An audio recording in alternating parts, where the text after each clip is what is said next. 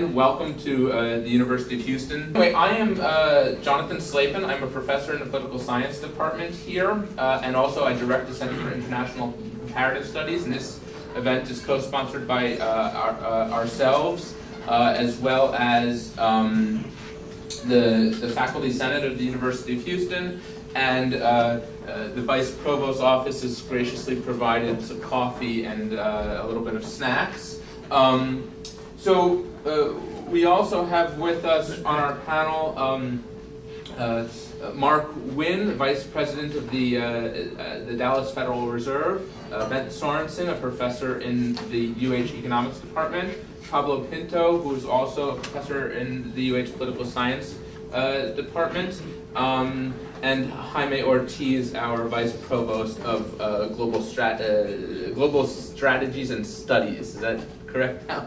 Um, thank you. Uh, we also have in the audience the uh, General Consul of Greece, Mr. Uh, Papin Nicolau. Is that Papa Nicolau? Papa Nicolau. Oh, thank you. Um, and a, uh, our, a congressional, uh, a U.S. congressional candidate. Uh, we're going to parse the discussion in basically three sections: the nature of sovereign state debt, the single currency union and the way it affected the distribution of wealth among it.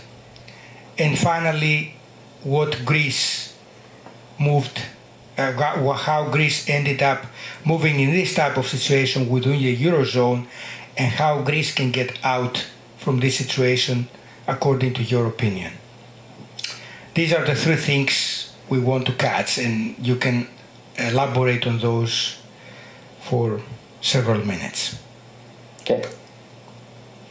Well, it's uh, good to be addressing all of you, uh, even though I can't see you or hear you. Um, I would like to begin with a mental experiment.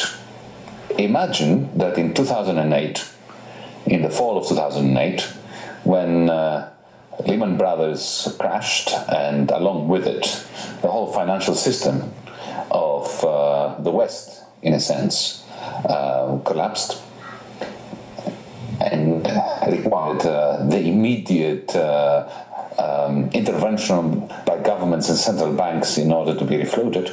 Imagine what would have happened if uh, the United States of America, structured like the Eurozone, let's uh, focus in on some state and let me use the, the great state of Nevada as an example. I'm saying I'm using the metaphor of Nevada because in terms of population, it's quite similar to Ireland. And also in terms of its economy, it too was booming prior to 2008 on the basis of um, uh, construction, real estate, uh, and financial services. These were the two boom areas of Nevada, not too dissimilar to the great boom of uh, the Irish um, miracle of the 2000s. Uh, additionally, you had very low corporate taxes, like in, in, in Ireland, and you also had, therefore, uh, an influx of uh, capital that was seeking low tax rates, um, plentiful labor supply, and a very friendly business culture. Now, if in 2008, after the collapse of the banking sector, and at the same time of, of course, the real estate sector, the state of Nevada had to foot the bill for saving the banks of Nevada and at the same time to pay for the unemployment benefits of the construction workers that lost their jobs as the real estate sector and the construction sector of the state of Nevada collapsed. If that were the case, and the state of Nevada not only had to pay for unemployment benefits as well as bank recapitalizations, but on top of that, it didn't have a central bank of its own, and it did not have a federal uh, reserve backing its banks, and instead, the state of Nevada had to go to the international markets to borrow in order to pay for the, the banks as well as for the increased uh, social security payments, you can imagine what would have happened. No one would want to lend to the state of Nevada. The state of Nevada would go bankrupt. As it did, it would have to go to Washington, D.C., or to the IMF, or the combination of the two, uh, cap in hand, begging for a bailout loan by which to bail out the banks and do something about the burgeoning deficits.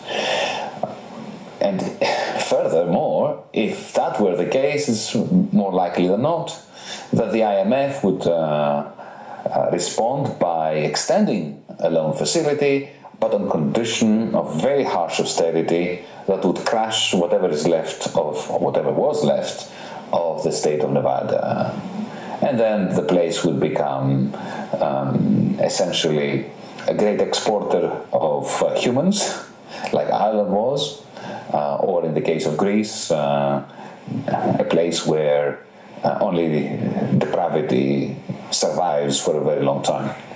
Now, of course, this is not what happened to the state of Nevada, thankfully. And the reason why it didn't happen in the state of Nevada was because the United States of America, the dollar zone, has a rational architecture, unlike the Eurozone. What happened in the state of Nevada was that you had a banking union. So the banks of Nevada were saved by the FDIC, Federal Reserve, centrally. Uh, and the, unemployment benefits were footed, the bill was footed by the, the whole of the union. So you had the surplus states uh, through an automated mechanism known also as the IRS, income tax, paying uh, disproportionately for the deficit states unemployment benefits and social security. These are the shock absorbers that the proper monetary union has, and it is the reason why the United States of America, even though it faced a very significant crisis after 2008, 2009, 2010, nevertheless, it managed to um, emerge from it much more, much earlier than the Eurozone did the Eurozone still hasn't emerged from recession and deflation. The United States did. It's not that the United States doesn't have problems, but at least no state of the United States of America is being treated as a failed state, and no state has a population that is in desperation as a whole, independently of whether they are better off or worse off. And no state in the United States is being discussed as a possible um, uh, how to say, amputee, uh, somebody to be amputated from the Union. So it's quite clear that the Eurozone uh, was never designed to sustain the earthquake of the, the 2008 financial crisis. We entered into a huge denial in 2010, 2011 when we tried to pretend that uh, you can deal with these insolvencies, both of the banking sectors of Europe as well as the states, the public debt sectors, uh, as if they were problems of liquidity, by extending loans, which were extended on condition of uh, the greatest austerity for the economies in the greatest crisis. Now, in 2012, the monetary union nearly collapsed. It was saved at the last moment by very skillful intervention by the president of the European Central Bank, who made a, an important speech uh, in London in which he said that he would do all it takes, whatever it takes, to save the monetary union. And a few months later, a few weeks later, he followed this up with a promise to burn any bond dealer who bets against Italian and Spanish debt in particular. That uh, quelled the, uh, the, the, forces of destruction in the bond markets, but of course the problem didn't go away, it simply metastasized like a cancer. It moved from the bond markets onto the real economy, and this is why you have a situation where the, the whole of Europe now is in the clasps of deflation and why Mr. Draghi again has to indulge in what is known as quantitative easing. But the crisis hasn't gone away. Now, what can I say about Greece? Greece was the flimsiest part of this edifice that was not well designed. And when you have an edifice that's not well designed and it's hit by an earthquake like the 2008 great financial crisis, uh, that edifice begins to unravel, to fragment uh, at the flimsiest apartment unit uh, part of it. Greece was the country with the highest uh, debt to GDP ratio during the good times. It had a very um, inefficient economy, uncompetitive economy, highly unequal society with a great deal of corruption. Uh, the, the vast the majority of people worked long hours, but not very productively because of lack of capital goods, uh, machinery, uh, technology. And uh, the result was that when the great crisis hit, Greece was hit the worst. Had Greece not been in the Eurozone, uh, the Greek drachma would have um, taken a hit, it would have been devalued, competitiveness would have been restored.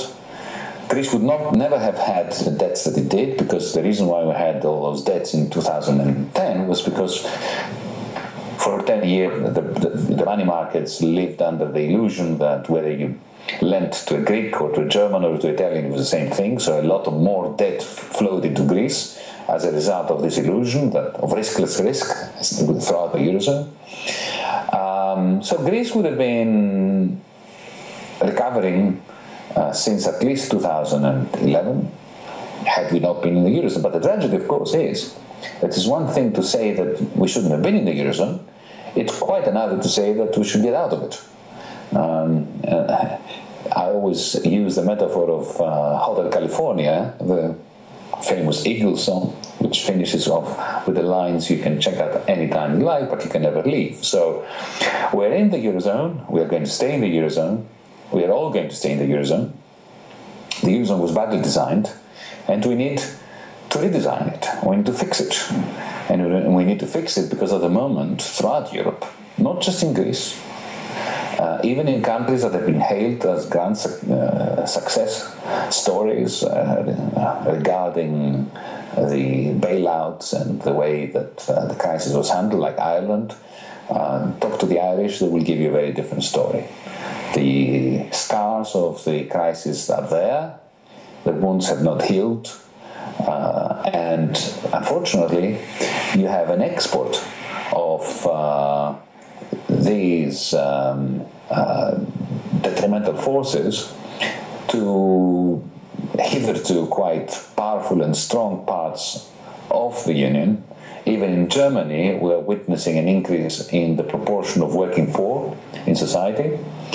Um, you'll find that uh, quite naturally and with good reason, a very significant proportion of German working people are feeling the pinch. They're not feeling that they're doing well, even though the macroeconomic statistics for Germany are um, very healthy. So, in order to turn Europe again into the realm of shared prosperity, we need to redesign it. And unfortunately, we need to do this in a climate when one proud nation is pointing fingers at another proud nation, and instead of having the unity which is necessary in order to consolidate and move ahead, we're having disunity. The only beneficiaries, however, of disunity are the anti Europeans, the nationalists, the bigots, the racists, and the neo fascists. So it is imperative for all of us that we stop thinking in terms of us against them in terms of north against south, in terms of creditors versus debtors, but we should start thinking in terms of uh, members of a union that need to do what the United States did after the various crises in the 19th century. Every time the United States had a major crisis in the 19th century, then again in 1907, 1911, 1929, even in the 1960s with the Great Society, uh, they pulled together and the union became stronger. In Europe, we claim that this is what's happening, but it isn't what is really happening. We have a banking union in Europe, which is not really a banking union. We have new institutions like the European Stability Mechanism that are not really promoting stability or consolidation. And this is what our government, uh, the new government of Syriza in Greece, what we're trying to argue. We're trying to argue for a comprehensive rethink of uh, the architecture of the Union in, a, in the context of uh, a narrative that is unifying and that is uh, refusing to succumb to the uh, obscene tendency, the sinister tendency, to think in terms of confrontation and of one nation versus another. Uh, yes. I would like to go with questions now from the panel. Mm-hmm. And the first question is from uh, Pablo Pinto, who has been very, uh, very much involved into studying the Argentinian crisis, which, to our opinion, bears big similarities with Greece, tying the currency within with the framework of a very strong and hard currency. So Pablo says, I'm interested in the main political economy considerations that affect this choice. Which Greek and Eurozone actors would prefer to see Greece leave the monetary union? Is a deeper fiscal integration feasible? Well, let me address the point about Argentina versus Greece. Uh, there are similarities, it is true. So Argentina had a one-to-one um, exchange rate with the US dollar, which created, just like in the eurozone, a massive inflight of capital that caused bubbles to be created. Then, when the bubbles burst, uh, there was a big loan uh, extended by primarily the International Monetary Fund that allowed for uh, rich people in particular to get their money out in good time and for some of them to liquidate various assets and bring them out before, of course, the whole thing collapsed. And the bill uh, was sent to the weakest people who had never benefited either from the boom era or from the IMF loan. But there is a profound difference. And the profound difference is that Argentina had its own currency. It was pegged to the US dollar, but it had its own currency. So when you have your own currency um, and you have this kind of derailment, it's quite straightforward. Overnight, the government or the central bank makes a decision, not an easy one, but nevertheless one that can be made easily, to sever the peg and for allow uh, market forces to take control, to devalue the Argentinian currency, the pesos, and therefore to increase competitiveness reduce the size of the debts in dollar terms domestically. Um, these adjustments are always painful, but nevertheless, they work. A few years later, the Argentinian economy was growing very, very, very robustly. Um, regardless of what happened 10 years later, you know, the, the, eventual um, macroeconomic difficulties uh, have to do with a degree of mismanagement, but that, that was a de- decade later. It didn't have to happen that way. In the case of Greece, of Ireland, of uh, Latvia, of member states of the Eurozone, we don't have our, uh, our own currency to uh, devalue. It is not as if we have the drachma, uh, which is um, pegged to the euro if we did, of course we should have devalued it. The moment the Greek uh, public debt blew up and Greece became unviable within uh, essentially uh, a hard currency monetary union.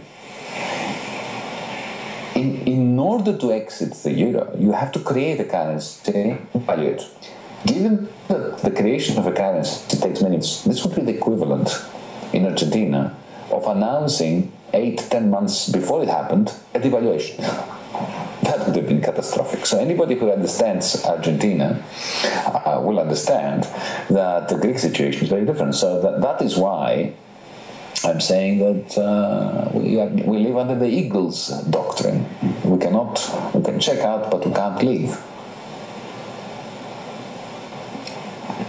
Very, very clear. And one of the questions actually uh, Pinto asked is whether doesn't Greece leave the eurozone, but I think you covered that very well. Mm-hmm. So I'm going to now to Ben Sorensen, who has studied uh, Europe and European debt a bit, and he says economists have several conditions under which a country would benefit from being a part of a currency union. The issue is what countries do when there are bad times for the economy. And there is a list of there, there is a list of toolkits. Uh, there is a list of tools, actually, probably not toolkits. Flexibility in prices and wages. The critical issue is downward flexibility in order to restore competitiveness in bad times. Mobility of labor, saving of bad times, federalism, which I think you articulated when you spoke at the very beginning in the first 15 minutes, uh, so you don't need to repeat yourself. And he has a very interesting fourth idea, very interesting to my opinion diversification of ownership. Companies operating in Greece would be owned by foreigners, while Greek savings would be invested in other countries. What would be your response, especially to the last one? Allow me to be um, diplomatic. It sounds like it sounds like um, a very decent account of um, the, the so-called theory of optimal currency areas, which, however, is based on certain assumptions that we economists like to make to make our lives easier and make our teachings in the lecture theatre more palatable to students. But unfortunately, these assumptions, even though they succeed quite well at making our mathematical models more manageable, nevertheless, they have one major disconnect with reality. They don't include the notion of debt. These are models in which no one owes anything to anyone, all uh, transactions clear, and all markets are more or less perfect in the sense that there is no difference between price and opportunity cost. Um, I, would, I allowed myself just for a moment to go back to my, you know, economic uh, um, professorial uh, tendencies. But in short, what I'm. Uh, in, in short, uh, what I'm saying is that all, all that you said is perfectly spot on. But in a, an economy where you, you have no debt and you have no oligopoly. Let's take a couple of examples from what you mentioned. The question of uh, downward price flexibility and wage flexibility, because wage is also price, the price of labor. Uh, the know the, the basic proposition here is that if you don't have your own currency, okay, and there is a shock to the system, there is a loss of competitiveness in country A relative to country B, then in the country A, if you had your currency, the currency would devalue. And then suddenly the, the economy, country A becomes more competitive. It restores its competitiveness to a certain extent. So the argument is if you don't have your own currency, well, why can't you have the same effect of devaluation? Uh, when prices come down in euros or dollars, um, and if prices and wages come down by 10%, then you have a 10% devaluation for country A. Isn't, same, isn't this the same thing? Well, the answer is yes, as long as you don't have debt. Because if country A has a debt to country B or to private investors in Japan or China or wherever, um, the, the, drop 10%, 20%, 30% drop in prices and wages uh, does restore competitiveness to some extent, to a large extent, but it minimizes the capacity of that country to repay its debts because its debts will not devalue. Its debts will be in nominal terms, in euro terms. So if you have, you know, this is what happened in Greece.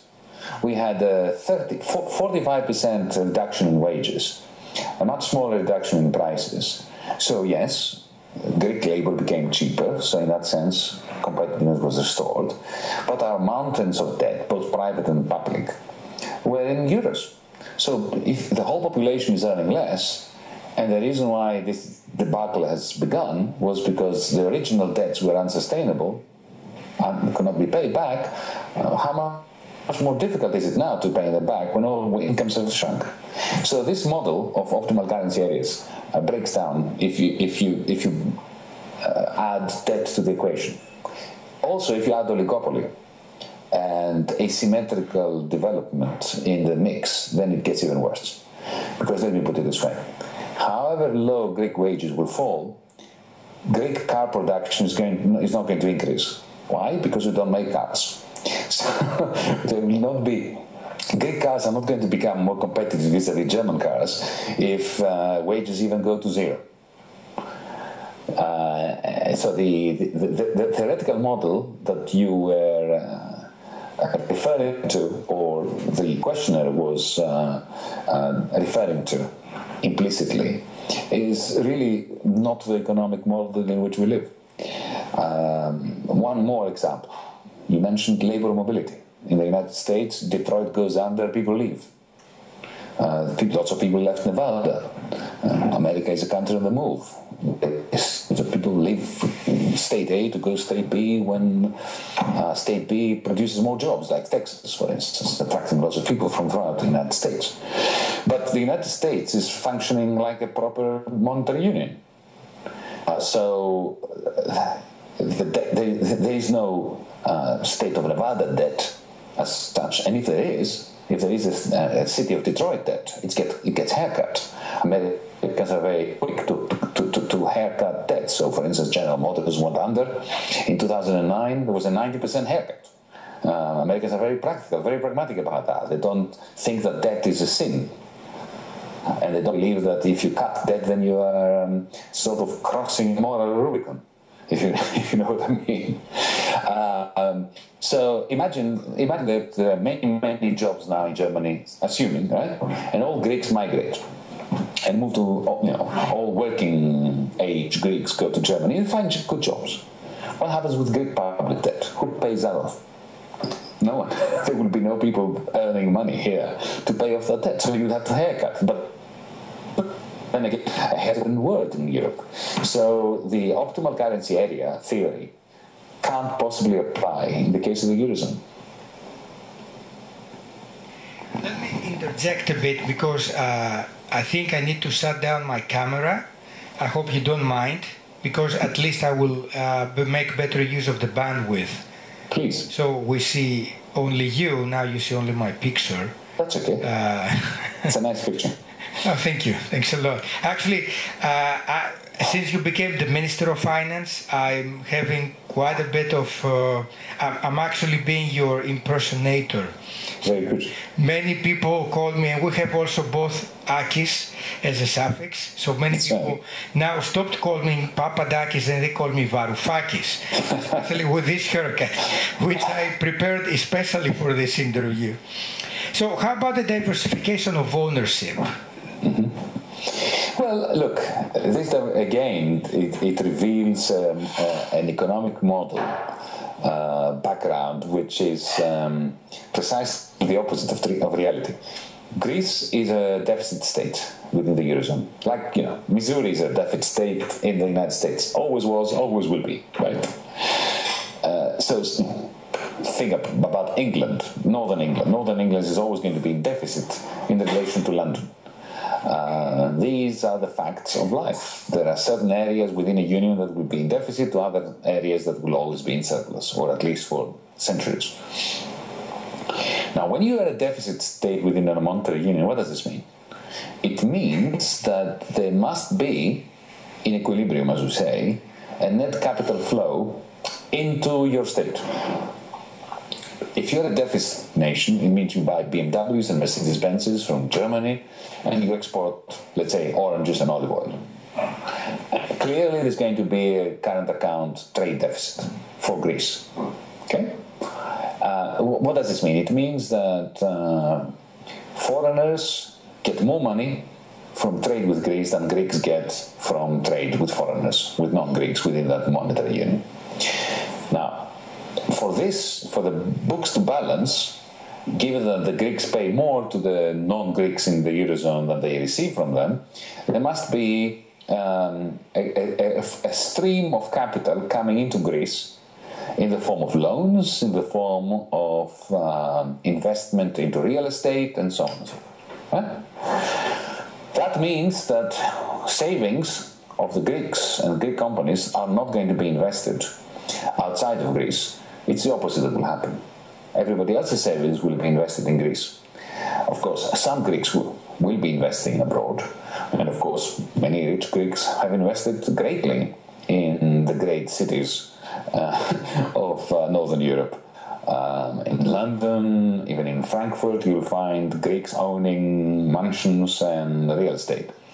Uh, but aggregate, in aggregate, it will always be the case that the deficit state imports other people's savings uh, as well as their goods. Uh, his uh, last question would be with regards to austerity. Mm-hmm. Austerity can be achieved by raising taxes or cutting government spending. Anecdotal and other evidence points to Greece having a very inefficient taxation and personal uh, taxation income, or maybe even culture of tax avoidance. Of course, I don't think to have to ask you whether this is true. We both know that this is true. Is it fixable? If uh, not Greek voters, that's what he says, willing to accept spending cuts, are they going to accept Greek defaults? Well, we had the most uh, spectacular uh, spending cuts in the history of capitalism. The fiscal consolidation that was achieved by the Greek state in the last five years has, is unprecedented during peacetime anywhere in the world. So the Greek state has shrunk. Greek public spending has nosedived. It's just spectacular. Uh, unfortunately, along with it, you had a massive reduction in national income and therefore an incapacity of uh, the Greeks to do both, pay their taxes and survive. Tragically, of course, the rich Greeks, the ones who were responsible for, the, for, for bringing Greece to the state in which it found itself in 2010, well, they and their money have fled. At least their money has fled to London, to, to Zurich, to Geneva, to Wall Street, to Frankfurt, and they're not paying for it. It's the poorer Greeks, the ones who were mostly uh, innocent of the causes of the crisis, of the Greek debacle, uh, that uh, are being forced to pay through the nose. And once you do that, you have a breakdown of uh, social consensus, and the country becomes very, very hard to reform. The reason why we were elected in, on January the 25th was because the Greeks had enough of that. And we were elected on a mandate to reform Greece to make sure that uh, the culture of uh, tax immunity for those who have to pay tax and can afford to do it uh, will have to end. Uh, we will do our uh, damnedest to ensure that they do. But we will only succeed when the rest of our Eurozone partners uh, accept the proposition that there is a new government in place which is not interested in perpetuating the crisis. It is not interested in getting more loans from the rest of Europe and from the IMF on condition of further austerity, which shrinks incomes further, making the whole thing less sustainable, not more sustainable, and turning Greece into a failed state. That is our mandate to put an end to this and to make those who can pay pay while stabilizing the Greek economy, helping it grow so that we can repay our debts to our partners. Moving now to the questions of uh, Mark Wynne, who is actually has worked quite a bit in the. Uh, he's the vice president of the Federal uh, Bank in Dallas and he spent also some time working in Frankfurt for the European Monetary Institute. So he is asking a few questions. In retrospect, what do you think was a good? Uh, do you think that it was a good idea to join the euro, or would have been better sticking with the drachma? I shall answer this uh, frankly and truthfully. But before I say this, before I give you my answer, let me be very clear that it has been my considered opinion right from the outset, from the beginning of this crisis, that Greece has no alternative but to stay in the Eurozone. And we should do, and we are doing, our damnness to make sure that we stay in the Eurozone. Having said that, we shouldn't have gotten in. It is quite clear. It's actually quite clear that the Eurozone was very badly designed. I don't think that if Germany knew in 2000, the majority of Germans knew in 2000 what they know now, that they would have abandoned the Deutschmark for the euro. It was an architecture. I have nothing against the common currency. That particular design, the Maastricht design, as we say, uh, was a terrible one. The idea of uh, maintaining each nation's public debt separate from everybody else's uh, and simply unifying and keeping our banking sector separate and having the states be responsible for their public debt as well as the banking sectors when they lack a central bank with the capacity to help them during bad times. And when you have a central bank that is lacking a state, a federal state, to have its back, that is a design that that, that couldn't possibly avoid a major crisis. So we shouldn't have been part of it. But once you're in, you're locked in it. And getting out, let me use a spatial metaphor. Uh, the path that we followed to enter the Eurozone doesn't exist anymore. If we try to retrace our steps backwards, uh, we'll fall off a major cliff. This is why it is so imperative that we Europeans find a way of fixing and redesigning the architecture of the Eurozone. There is no turning back now. Uh, his next question is what are you going to do to supply to free up the supply side in the economy well, this is a crucial question because uh, Greece is a, a, very curious case study. It's a unique, a unique example of uh, what happens during a period of massive fiscal consolidation and of a, a, a huge drop in living standards, in wages, as well as in prices. So, as I said before, wages fell by 45%, right? And yet, growth. It's flat.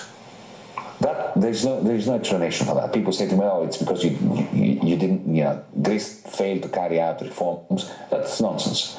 Even firstly, Greece did carry out reforms, but even if we had carried out no reform at all, a 45 percent reduction in wages, ceteris paribus, should have produced a very significant export growth. Hmm? It didn't. The reason why it didn't was twofold, is twofold, or if you want threefold. The first reason is we have no really uh, serious credit provision. Our banking sector, uh, very quickly after the Greek state went under, uh, also became initially insolvent, and then even though it was recapitalized by the Greek taxpayers, uh, it failed to operate properly. A banking sector that borrows and lends. And the reason, of course, is we have um, a very large pr- proportion of non-performing loans weighing down the asset books of the banks. So this is this is a major problem. Let me give you an example. There are profitable export-oriented companies in Greece, manufacturers. They have a full order book from overseas. They have um, a sterling record of being profitable for 10 years now in a row, and yet they can't get credit. They have no capacity to purchase inputs, raw materials, because ba- banks do not lend to them. And the reason is that banks can't lend to anyone, they're zombie banks, really. Um, and at the same time, um, customers, overseas customers, are asking for some kind of uh, credit letter, some kind of uh, guarantee that the export is going to reach them. The banks won't provide that either. So you have these companies that are ready to be profitable and to increase exports, uh, and there is a backlog, and there is a sorry backlog, a bottleneck, I should say. So the, the pertinent question was, how can you increase supply? How can you deal with the problem of bottled up supply? The, first answer has to do with the credit system. We need a bad bank that will absorb the non-performing loans of the banking system. This is something we can only do after negotiating with our partners and institutions. The second reason, of course, has to do with the fact that the state, because it suffers from illiquidity itself, is notorious for returning VAT, value added taxes, to exporters as it should, because exports are not taxed in terms of value added, as you know. And yet, exporters they may take 18 months to get their money back from the state. So, so, that's, so that's another reason. And thirdly, and very importantly, you have to realize that a terrible recession like the one that Greece has undergone is bad for competition. Because what is a recession? A, a depression is it is it is nothing else than a cascade of bankruptcies. So when lots and lots of companies go bust and disappear, they're not replaced by new ones. Uh, what you have is a reduction in the number of competi- competitors. The concentration ratio, as industrial economists call it, goes up. So you have less competition, more oligopoly power. That increases the price cost margin. As that happens, the efficiency of the existing companies, of the surviving companies, um, doesn't receive a boost because they can have higher profit margins without actually increasing their efficiency, and that impedes export performance. So, what we need to do is we need to fix the credit system, we need to fix the banking system through negotiation with our creditors. Uh, we have an idea that the FSF buffer of 11 billion should be used to create a bad bank to absorb the NPLs performances. Uh, second thing we need to do is we need to um, have an, also through negotiation a revamp of the fiscal policy of the Greek state so that the Greek state has more liquidity in order to return VAT um, VAT taxes to business. And thirdly, we need to open up product markets and be a lot more vigilant than we have been to safeguard competition. This is not easy. So now there are three more questions which I can group into one question. Mm-hmm. Uh, what is basically you see as a whole package the restructuring? Well, l- let me use, not use that verb because it has been very, uh, very targeted uh, in the last few months for Greece.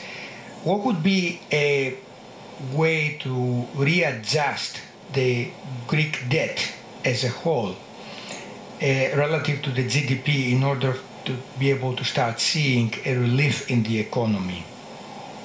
Well, I would use the word structure. Let's not beat about the bush. Um, we don't need to use the word haircut. We don't need a haircut.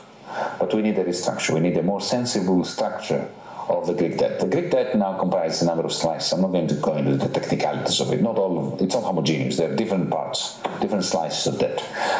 But the and and, our proposals um, uh, take the form of a menu of different swaps. Debt swaps, swaps for each one of these slices. Uh, but this is a technical issue. I'm not going to uh, bother you with it. But the basic idea is very simple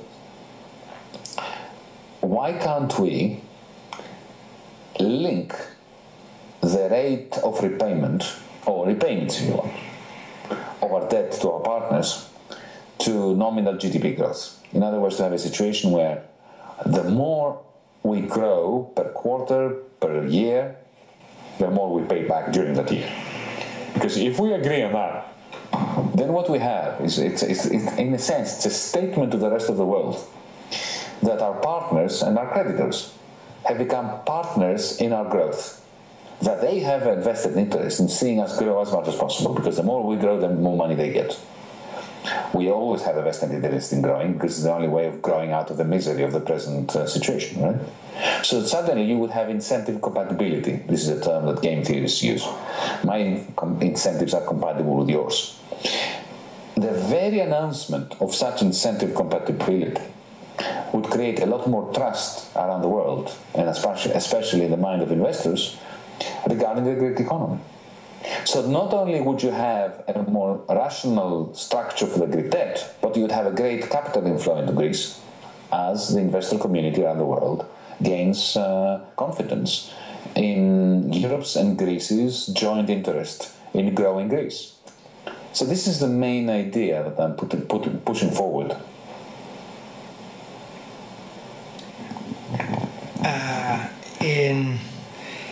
The last, uh, actually, what do you think can be the major engines of growth for the Greek economy right now, as is, as it stands? Where would you start?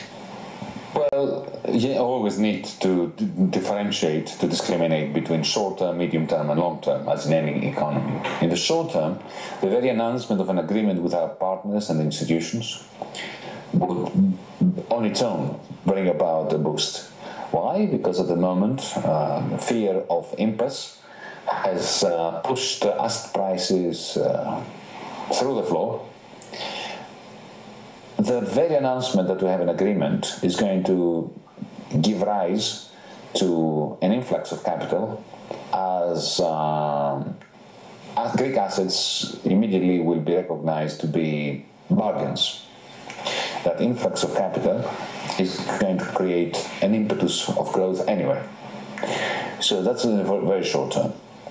In the medium and long term, Greece has a number of potential growth industries uh, besides tourism, tourism, of course, is a very important industry in Greece.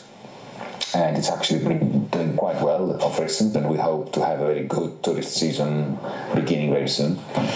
But besides tourism, we have uh, a number of advantages. Um, Greece is the obvious place to have uh, solar energy and wind energy, and we, we already have uh, a degree of success in that realm, but we need a lot more of it. Greece is a major hub for uh, shipping goods in from Asia and elsewhere into Central Europe. So our ports and our railways have a great capacity to develop, and we're moving in this direction with uh, various schemes for uh, um, exploiting public assets, railways and ports and roads. Then we have, you may be surprised to hear that, uh, a, a, nascent but very successful pharmaceutical industry. We have uh, a significant comparative advantage in terms of a very well educated uh, labor force. Unfortunately, over the last few years, we've been losing a lot of them. The brain drain during the crisis is uh, uh, unbearable. But nevertheless, there is room for uh, high tech industries, software companies, startups. Uh, think of Israel, for instance, as an example of what could be the medium to, to long term future for Greece. I see. Now we'll go to the last part. Uh, we have a few questions from the audience. Mm-hmm. Uh, one of the questions that came up from the audience is if Greece has to default its loans. Let's say that you, you, you, you basically said before that this is a very hypothetical situation. Wouldn't that make everyone in the markets reconsider sovereign debt as a very good form of investment, as the safest form of investment? Look, you're asking now not just the person that, that, that, you, that you met a couple of years ago at the University of Texas, you're asking a finance minister. So, as a finance minister, I'm going to have to, to refuse any discussion of default. But having said that, of course, because I'm always going to be an academic at heart, uh, of course it's not a good thing to have any default. The the, the, the, the particular character of the Greek debt, however, is such that most of the debt the public debt. is not in private hands. So when you hear me speak of debt restructure, I'm not talking about the private debt. No. Only what 15% of Greece's debt is in private hands. The rest is has already been transferred through the previous bailout schemes of 2010 and 2012. It has been moved on or pushed on, unfortunately, but nevertheless it has been done, onto the shoulders of taxpayers, Greek taxpayers and European taxpayers. So uh, any restructure would affect, uh, would, would essentially be a family affair between the Greek state and other states.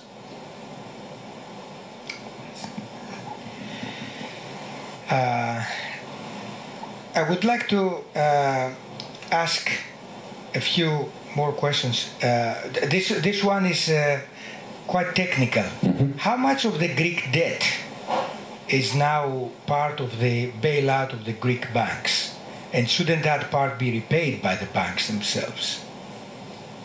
Ninety percent. of the 90% of the loans that the Greek state received from the institutions and its partners has gone into repaying uh, bank debts or into the in the form of bank recapitalizations. So the recapitalization of the Greek banks came to something like um, uh, 41 billion. That was money that the Greek taxpayer borrowed from the European taxpayer and the international taxpayer through the IMF in order to give to the Greek banks. Um, the vast majority of the remaining money went into redeeming um, bonds, Greek government bonds, that were uh, owned by financial institutions. So let me give you an example. In 2010, when the Greek state was teetering, on the, it was on the brink, the Greek government bonds were trading in the market at an 80% discount. And these bonds were made whole by means of bailout loans that uh, the Greek taxpayers took onto their shoulders so as to make sure that the banks, mainly French and German banks, would be repaid. So, Greece has a very important position in that part of the world right now, and which is becoming increasingly more unstable. Mm-hmm. So, wouldn't basically a redemption of part of the debt be seen like a, a lease for Greece's stability in this critical geopolitical position which, in which it resides?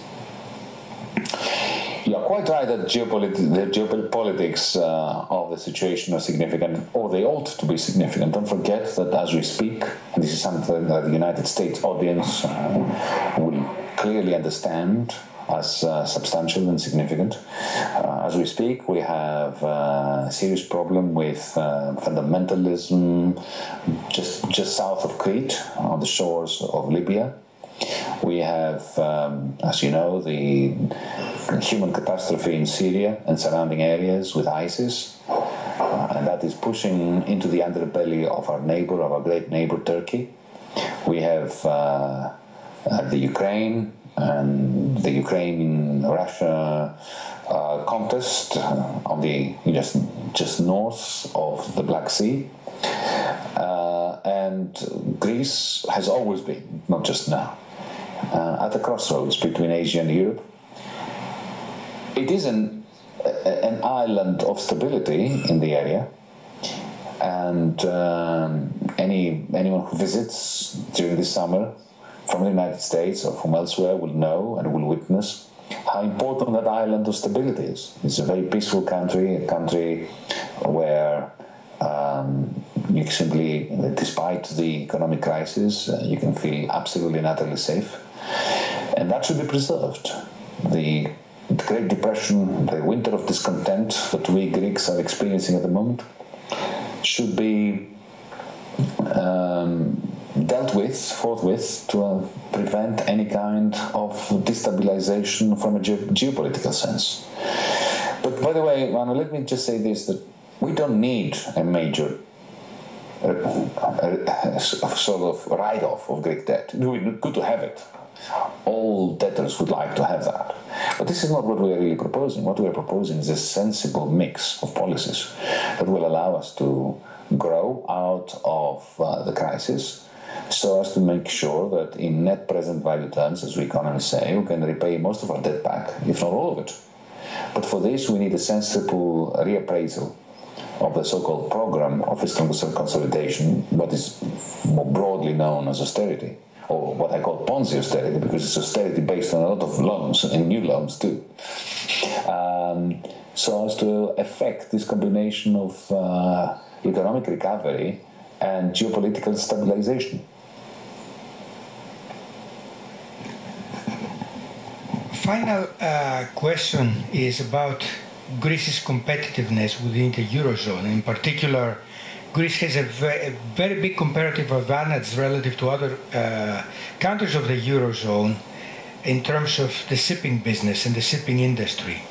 Would you like to comment about that? Historically speaking, uh, Greeks have been sailors since time immemorial. And the shipping industry is an astonishingly successful industry. Again, historically speaking, if you look at the 19th century, for instance, Greek ship owners uh, didn't live in Greece and didn't have much to do with Greece because in the early part of the 19th century, Greece didn't exist. We were part of the Ottoman Empire. Uh, and beyond that, because they, by definition, ship owners and captains of ships were highly mobile people, they always had, they were always part of globalized capitalism. So they had uh, headquarters in Odessa, in London, in Malta, in Cyprus, in Alexandria, in London. Did I mention them? Well, London, uh, all over the world. Some of them even in as far as Austra- Australia. The problem that we still have, um, speaking now again as a finance minister of the Hellenic state, the Hellenic Republic, is that most of the ship owners are um, domiciled uh, in Britain, in London. So even though culturally, spiritually, the shipping, the Greek shipping industry is a Greek shipping industry, in terms of uh, financial and uh, uh, fiscal jurisdiction, that is not the case, if you know what I mean. Yes. But probably I didn't make my question very clear. You could encourage uh, with basically giving them full uh, or almost practically full tax forgiveness, you could encourage them to have much higher number of Greeks in among the crew composition. Wouldn't that help? Because those Greek salaries, those salaries would now come in Greece. Well, no, spending. that's not so because already they have as much tax immunity as they need. They pay very, very little tax. Uh, and when you have, I mean, a lot, a lot of these uh, ship owners do employ Greeks, but the numbers involved, especially now with super efficient tankers and container ships that that, that use very small crews, right? That is not a solution to our unemployment problem. And in any case, let's face it, Greek wages will never be able to compete, never, with Liberian wages, with Nigerian wages, with Pakistani wages. Um, and of course, the reason for that is because Greek prices cannot never compete with prices from those parts of the world. So that is not the solution, I'm afraid. So, last question, and we close. Mm-hmm. What are you going to do? What, how do you envision to improve the overall competitiveness of Greece? Well, as I said before, what we need is firstly we need to achieve uh, a sensible mutually beneficial, uh, honorable agreement with our partners in the negotiation that we are conducting presently. That on its own is going to be very significant because, as I said, wages are already very low in Greece and prices are much lower than they used to be. So Greece is competitive as we speak. All we need is a sustainable macroeconomic uh, framework that can only be agreed with institutions as a result of the negotiation, the present negotiation. Beyond that, of course, there are things we need to do. We need to, to, to attack bureaucracy. Uh, bureaucracy is a, is a, significant impediment to growth in this country. Uh, tax evasion and corruption. And of course, what we, the, the, the, we need to liberalize product markets in a way that uh, oligopolistic rent-seeking behavior is, uh, if not eliminated, can't be eliminated. It's all over the world, but it can be diminished substantially.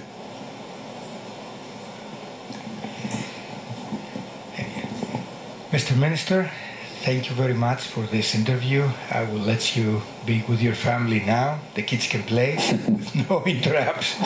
Thank you very much. Thank you very much for this interview, and I hope I will see you in Greece when I'll visit in June. My greetings to Texas.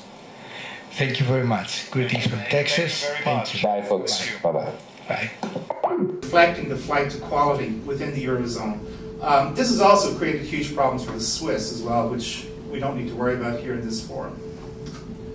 Now, just to show you some pictures, these are government deficits relative to GDP for the four countries that were bailed out. Actually, I'm leaving out Cyprus here. So these are the four big ones, or relatively big ones Spain, uh, Greece, Portugal, and Ireland.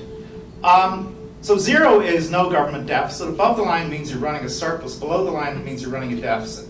Now, the rule book said if you were in the Eurozone, you were not allowed to have a deficit of more than 3% of GDP. Okay? And that's the hatched red line that I've shown there, the reference line. You can see that prior to the crisis, neither Spain nor Ireland were running deficits. Spain and Ireland got into problems for uh, very different reasons than Greece or Portugal. Both adhered to fiscal discipline in the run up to the crisis. They got into problems because of the massive housing booms and busts that took place in those countries. And the minister alluded to this in his remarks, drawing an analogy between Nevada and Ireland. And in fact, what happened in Ireland dwarfs anything that happened in Nevada. Uh, in Ireland, at the height of the boom, real estate construction accounted for 14% of GDP. They were building houses in Ireland for the people who were moving to Ireland to build houses in Ireland.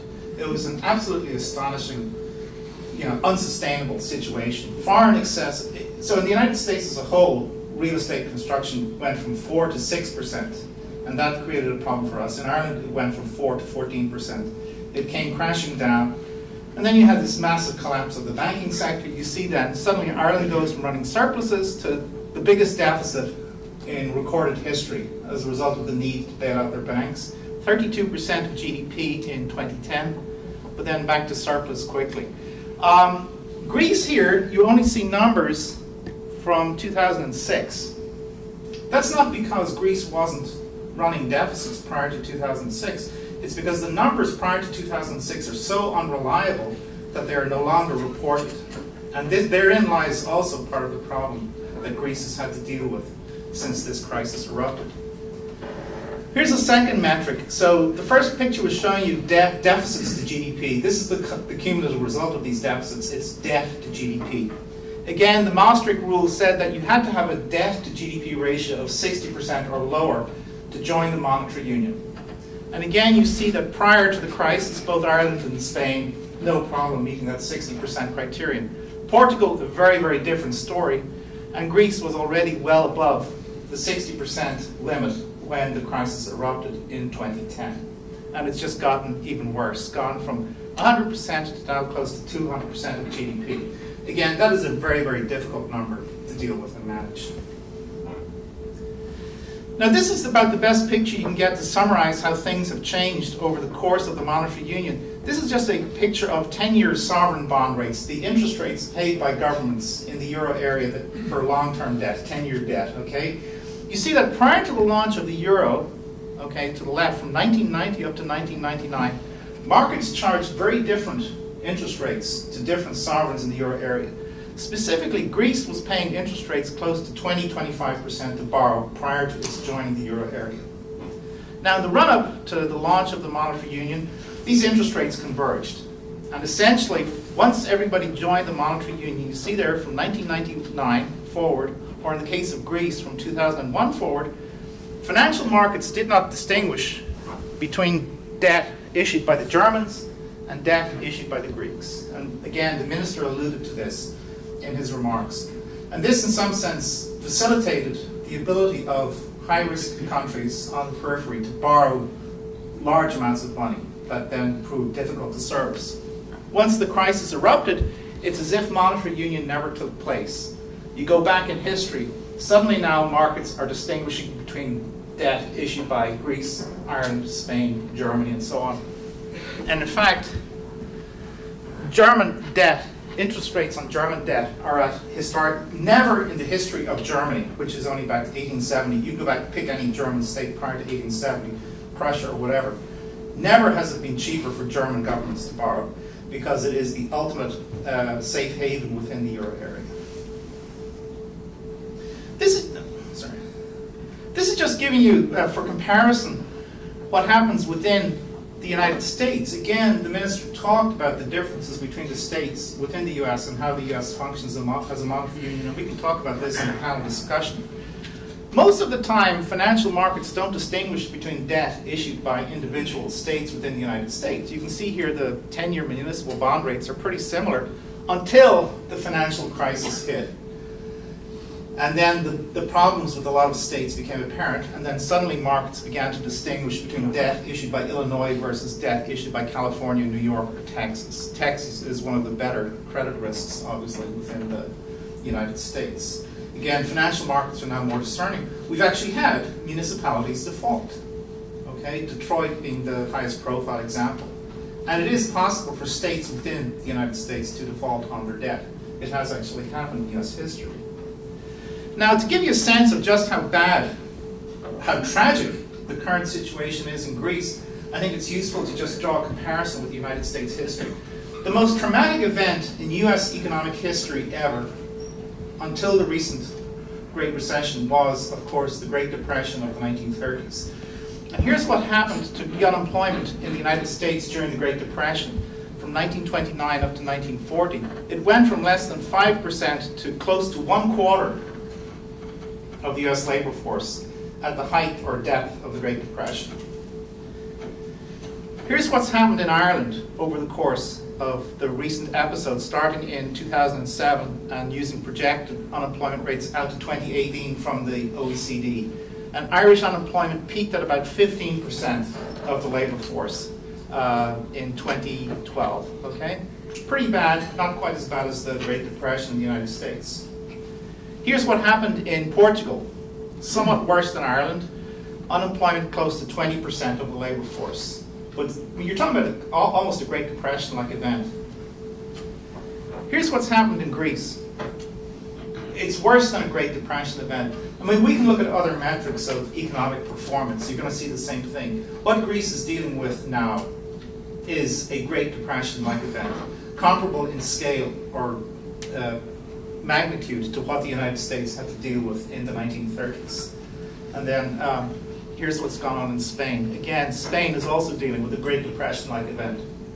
Again, key difference between Greece and Spain. Spain has actually successfully exited its adjustment program Greece is still uh, in its program.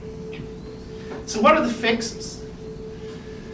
Well, the minister talked in his remarks about the need for a fiscal and a banking union and the flaws in the design of monetary union. The, the, the original design of monetary union as laid out in the Maastricht Treaty, this, this booklet here, did not uh, provide for a fiscal union or a banking union. Um, I'm of the opinion, and this is a minority opinion, that a monetary union can work without a, a, a, fiscal or banking union. However, you have to have rules to make it work. And the, the, the authors of the Maastricht Treaty actually laid out, laid out a series of rules. Unfortunately, the rules were not adhered to. And it's not just Greece that was a violator, although it was probably the most egregious violator of the rules in terms of public finances. Importantly, France and Germany were big violators of the fiscal rules in 2003, they essentially tore up the rule book when they were going to be subject to the sanctions provided for in the rules. And that set a very, very bad precedent for how the politics would play out within the monetary union. The other option is to try to create a fiscal and political union along US lines. Um, and this could work. The problem is, is there a political will to do this? And I think it's pretty obvious to most observers that Europeans still you know, while there is the sentiment that you know, Europe is important as an abstract concept, Europe is the, the, the home of the concept of nationalism, and national identity is still terribly important among the sovereign states of Europe. And there does not seem to be a huge amount of appetite for the creation of a full-blown fiscal and banking union along the US lines. So that does create problems.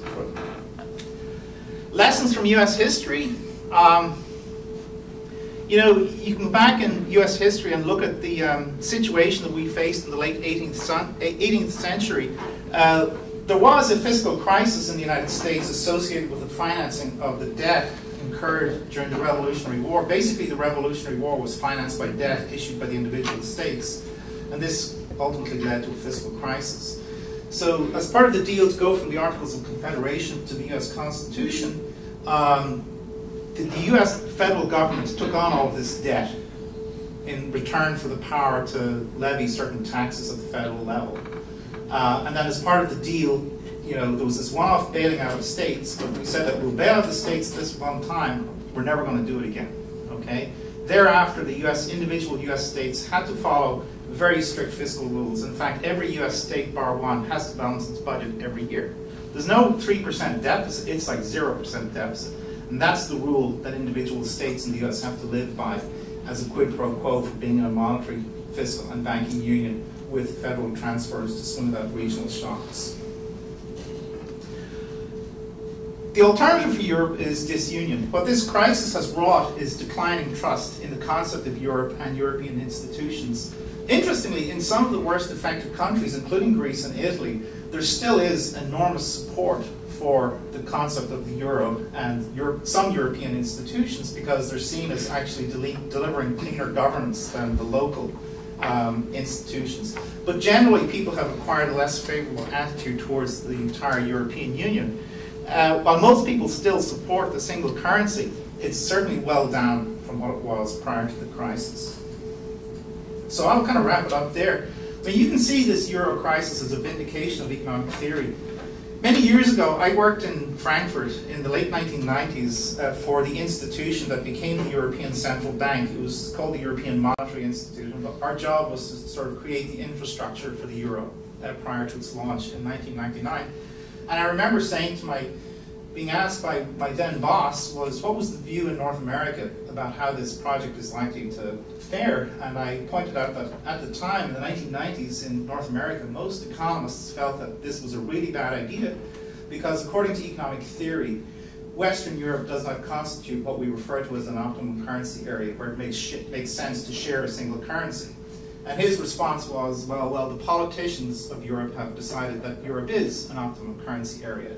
Uh, you can look at this experience as saying, well, you know, so much for the politicians. Economic theory actually has been vindicated by what has happened. One possibility, and we've seen that this has already happened, is they have a new set of fiscal rules. And these rules were agreed in 2012. They've now entered into force.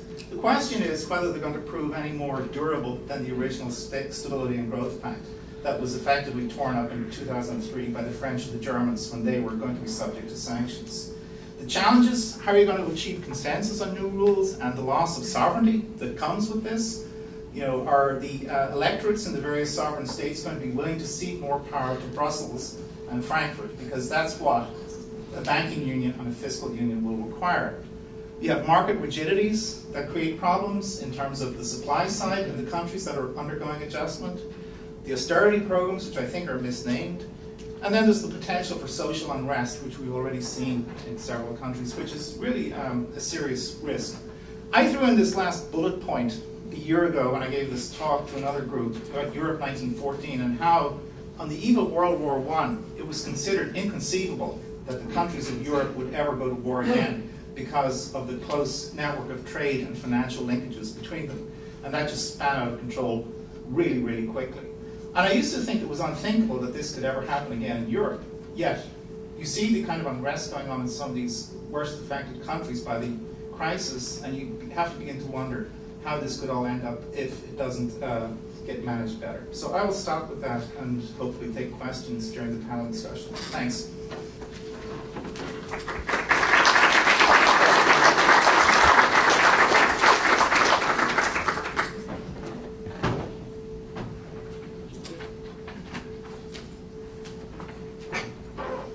You. Um, yeah, I didn't know I would have access to this, so I don't have any slides.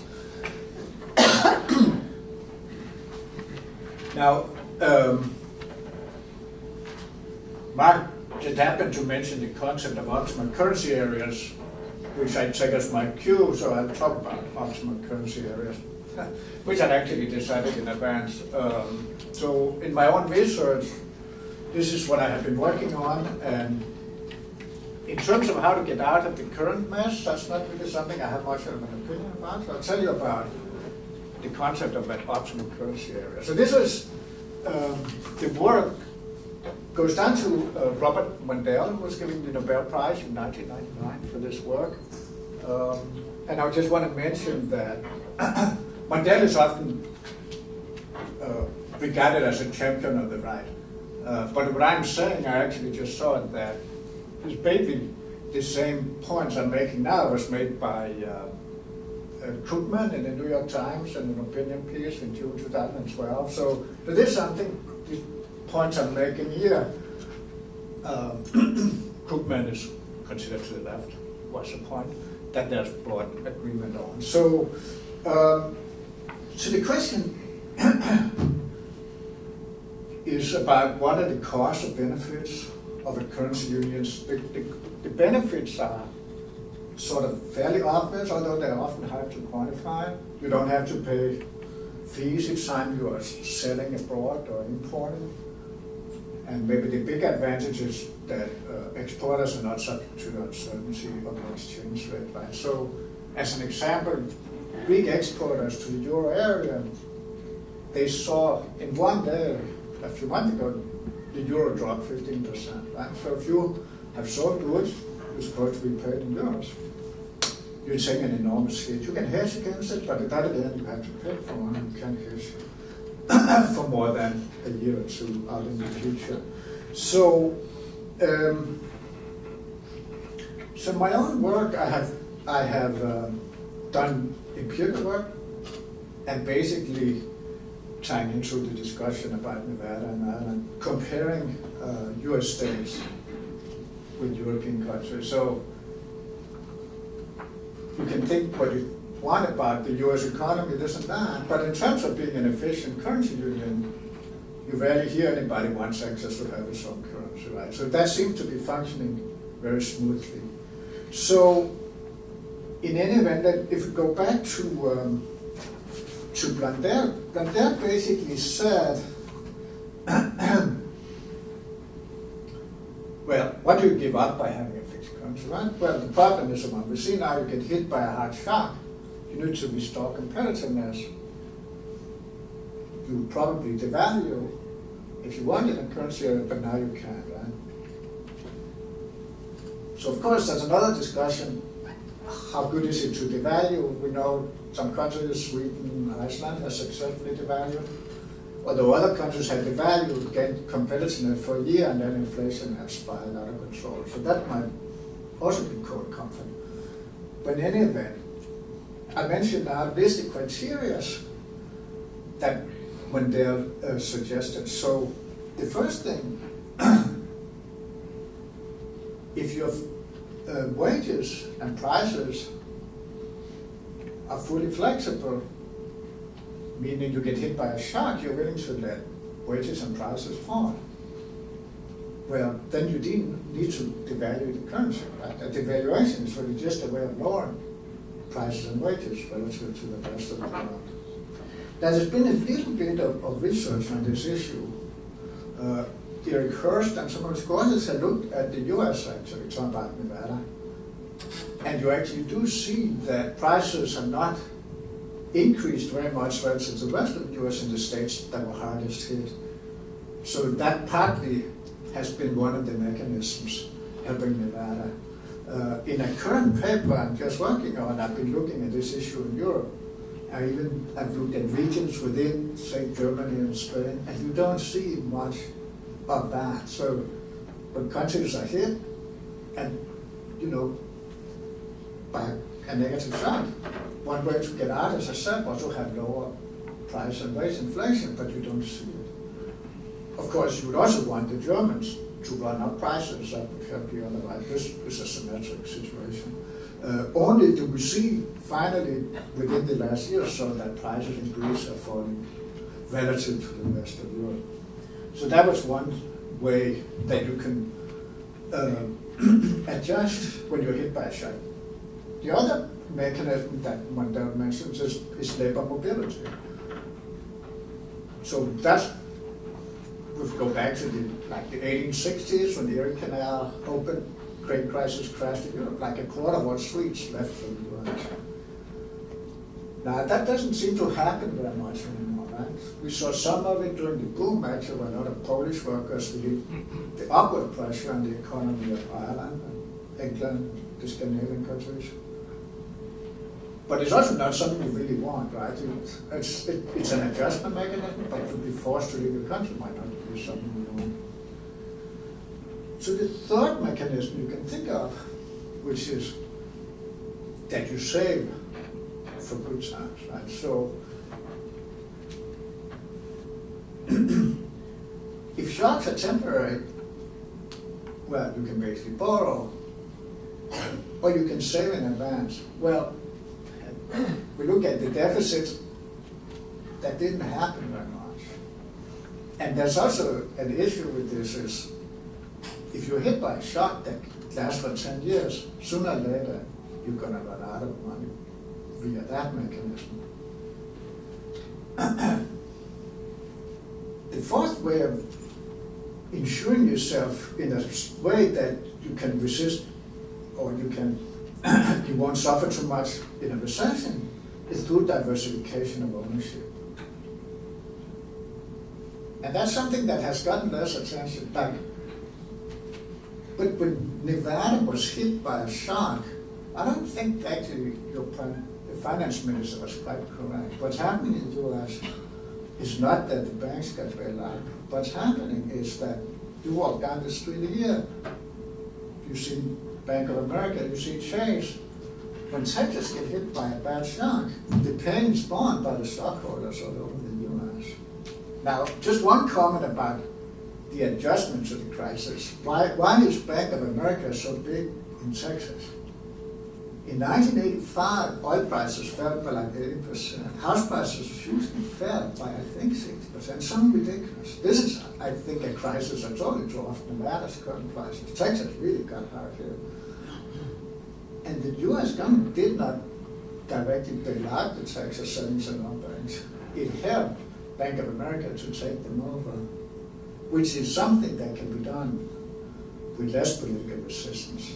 But certainly happened, and next time there's a recession, the shock is hit is carried by all uh, Bank of America stockholders and not owners in Texas. And but this goes deeper, not just the banks, right? Starbucks, Home Depot, you know, ownership of companies in America is highly diversified. Now, one more mechanism that should be mentioned about, that's the one that was talked about, namely federalism. So, um, if you have a federal government and you're hit by a shock, maybe they'll bail you out. So in the U.S., banks are, uh, states are actually supposed to be able to go bankrupt. However, there's still a fair amount of insurance coming out of the fiscal union. If Texas takes a hard hit, what's going to happen to your Social Security? Well, nothing, right? That's being paid by Washington. And your taxes, a biggest fraction of your taxes going to Washington. They're going down. So there's an automatic stabilizing effect via the fiscal union. So and I'm talking about my own research. My own research had basically focused on trying to quantify these mechanisms within the United States and within Europe. And we didn't set out to find anything in particular. Before we started, it was thought that the main mechanism stabilizing US states was the fiscal channel. Now, in our data, we found that by far the biggest stabilizing mechanism in the US is cross ownership of capital and assets. That the companies are spread all over the US.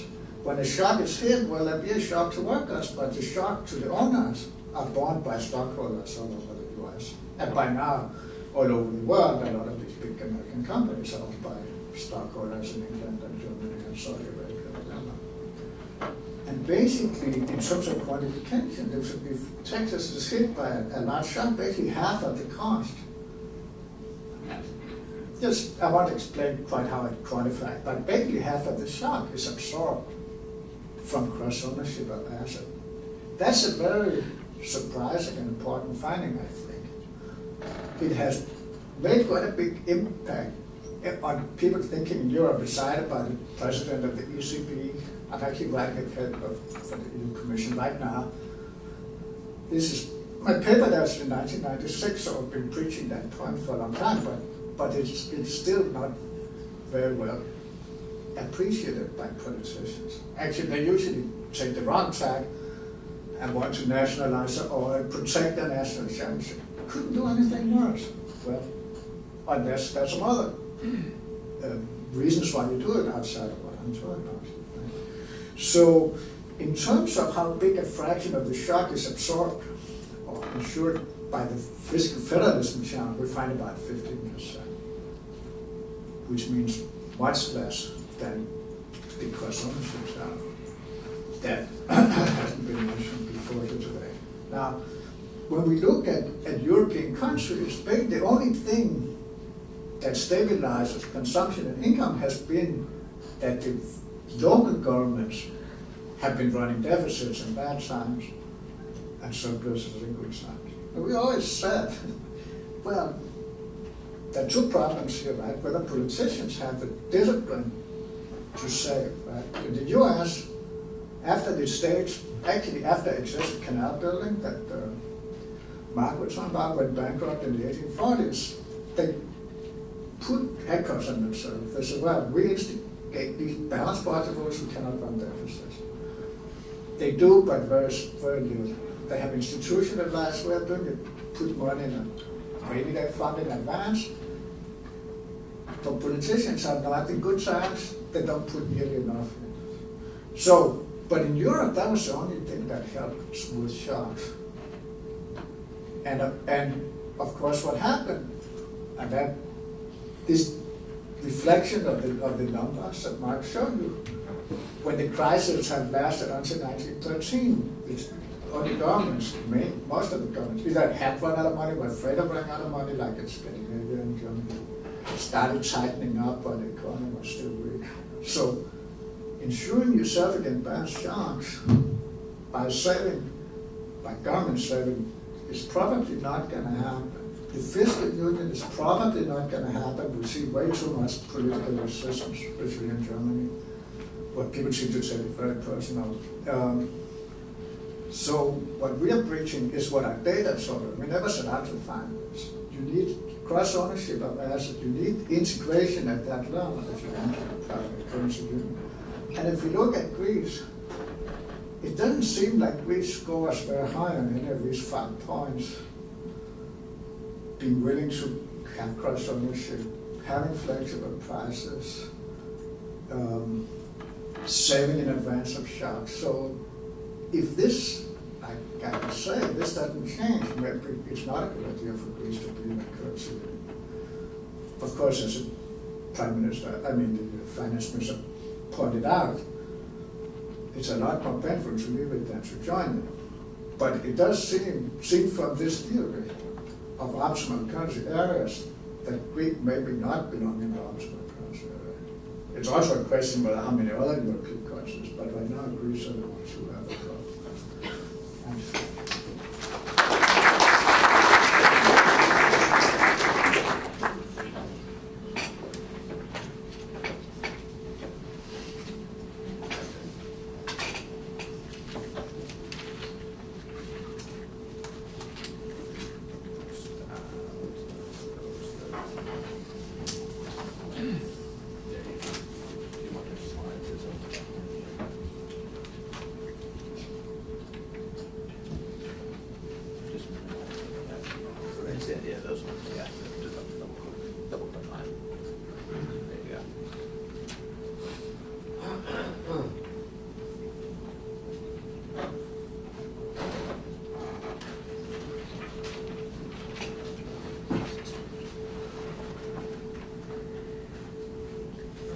I'm going to raise a, a, a different dimension uh, for the crisis. Uh, we talked um, and, and the solutions to this crisis. Uh, we talked about what mean, countries should optimally do, right? It's like uh, in order to mitigate the effects of the vagaries of the business cycle on economic activities, right? It's like and the benefits of different types of institutional setups, call them ex exchange rate regimes, fiscal policies, and the like because we believe that they may have aggregate, I mean, it's like benefits to the populations of those countries. I mean, it's like, now again, I mean, it's like, uh, uh, we know that many of these uh, uh choices that we have to make are gonna be political. I mean, it's like, so we have to decide uh, what type of fiscal regime we enact, how much we spend, where. Uh, we have to decide what type of exchange rate regime we want. I mean, it's like, uh, uh, what's the level of the exchange regime? I mean, it's like overvalued, undervalued. I mean, it's like, and they have different implications, right? I mean, it's like, do we want a fixed or a flexible exchange regime, right? I mean, it's like, and all of those have different properties and effects on economic activities, but they're subject of political choices. Right? So in the aggregate, just like the analogy of trade policy, most people think that opening up to trade with other countries is good, right? Because it increases, I mean, it's like options, right? I mean, for producers and consumers, right? I mean, it's like reduces prices, increases the, the, the goods and services that are supplied, leads to more efficient allocation of resources. Uh, trade policy, as you know, we know in the in the U.S., right? I mean, it's like elsewhere has distributional consequences. So the benefits and costs, right? I mean, it's like of engaging the rest of the world through trade and other means, right? I mean, it's like are not evenly distributed. So by not being evenly distributed, I mean, some actors, I it's like I take the lion's share of the benefits or the cost. And in the aggregate, we're better off, right? So the key element in these conditions, and this is the bottom line of what I want to explain, uh, requires, right, I mean, that winners and losers, right, uh, eye to eye come together, right, and find a compensatory mechanism, right, that prevents the losers from opposing, right, and enacting the policy that would be optimal for the aggregate. And that's one of the conditions that we talked about, right? And we know that that's really hard, and it's like uh, uh, to happen, right? And it's like, and, and I'm going to use some analogies from uh, my own research on Argentina and, and, and, and some uh, anecdotes about other countries to explain uh, why some of the solutions that are purported, right? I mean, it's like to uh, help Greece and the European Monetary Union to stay alive and afloat, right? I mean, it's like require more than just, right? I mean, it's like a, a clever design of institutions, right? Why that's the case? Because the clever design of institutions, right? I mean, it's like it's done in the shadow, right? I mean, political gains, uh, economic gains and losses that results from an election of those policies, right? Okay, so the, uh, the point I want to make is that uh, uh, uh, political choices in good and bad times, right? I mean, it's a function, right? I mean, it's like of the uh, expected consequence of those policies, right? I mean, It's like on, on economic activity, right? I mean, it's like so and, and the bottom line from this point is this, and it's like, uh, even when we find something that's mutually beneficial for uh, all the members of any of these entities, right, I mean, it's like, uh, uh as long as we don't address, I mean, it's like uh, how, I mean, it's like gains and losses are gonna be distributed, right, it's gonna be really hard to find a sustainable solution, and I'm gonna illustrate why that's the case, right? So, um, let me give you the example of fiscal policy, which is one of the, of the, of the potential solutions that the minister uh, has addressed as, as, as helping um, um, Greek and uh, Greece endure, I mean, it's like the crisis, right? So what does this require is that the central countries in, in, in uh, um, Europe, right, it's like uh, the surplus countries in Europe transfer resources to, I mean, like Greece and other countries that to help them, I mean, like uh, uh, sustain the level of spending that will be required to uh, help banks, I mean, like recapitalize and, uh, and help workers, right, receive their uh, uh, uh, unemployment benefits and the like, right? That would be, right, I mean, like the third point, right, and what the optimal, I mean, what the functions of fiscal policy would be, right, this issue of redistribution, right? I mean, it's like, if we look at this in depth, right, in the, in the European case, right, I mean, there's evidence, mean, it's like from uh, German voters, right, and it's like that they're very sensitive, right, I mean, it's like to those transfers, right. So even if we bring, right, the Germans and the Greek uh, and, the, uh, and the Greeks together, right, I mean, and decide that we're going to ask the Germans to transfer resources to Greece through a fiscal union, right? I mean, it's like the Germans might not be willing to do that, right? So those, right? It's like, why do I have to bail them out? I'm only going to bail them out to the extent that uh, out helps me. Right? I mean, it's like looking to that uh, position, right? So bailing out would be good uh, to the extent that we are able, right, uh, uh, bringing those benefits back to us. There are some in Germany that are more, I mean, it's like uh, thinking about the, the, the, spillovers, right, from stable Greece, right, we're having the rest of Europe, right? But that's not all the Germans, right? I mean, it's like all together.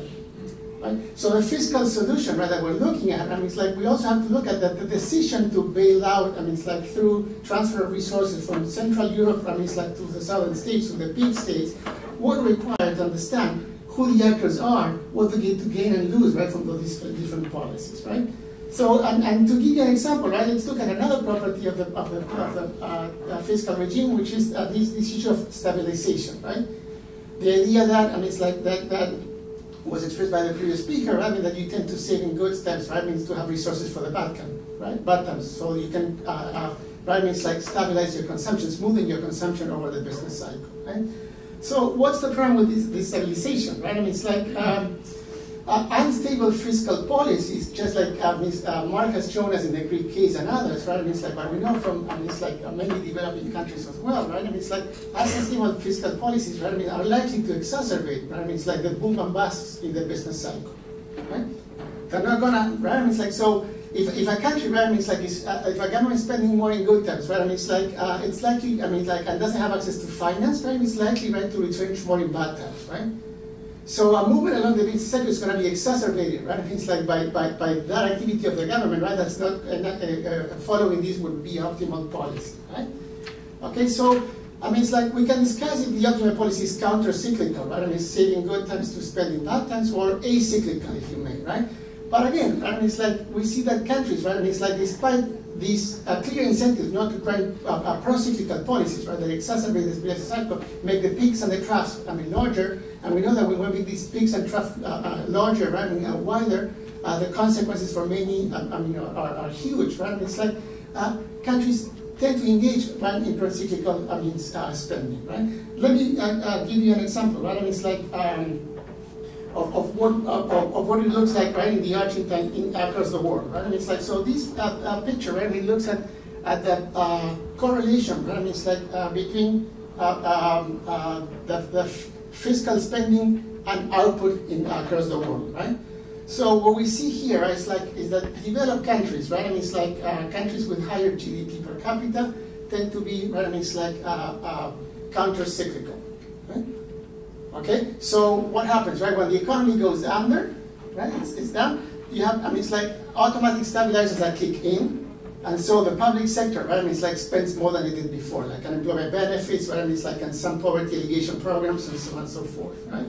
Or even in the U.S. case, like TARP and, and other forms of bailouts, right? I mean, it's like and when it's good, when, when the economy is in good times, right, you get the opposite, right? And it's like the, the, the, the fiscal sector, right, takes less, and, and, and, and the influence of the fiscal sector on, I mean, it's like output, right, is small, right?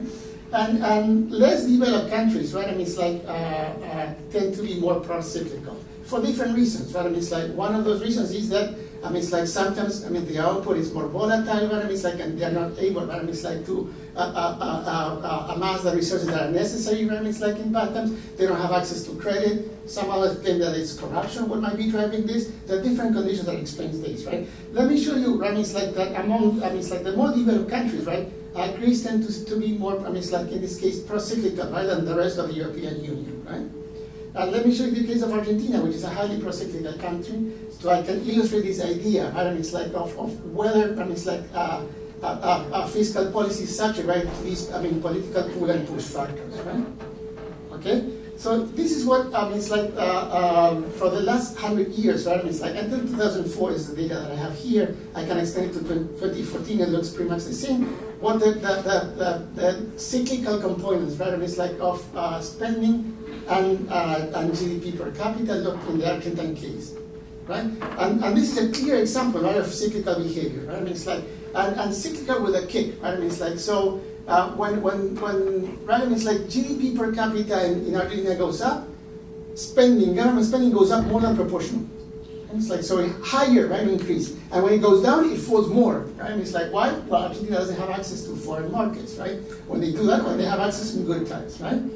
And, and, and let me look at, at another component of, of, of, of the uh, fiscal regime, right, which is really interesting, which is the one that you would expect to, I mean, have a bigger role, right, I mean, in, in bad times, right, which is social spending. This is what social spending looks like in the US, right?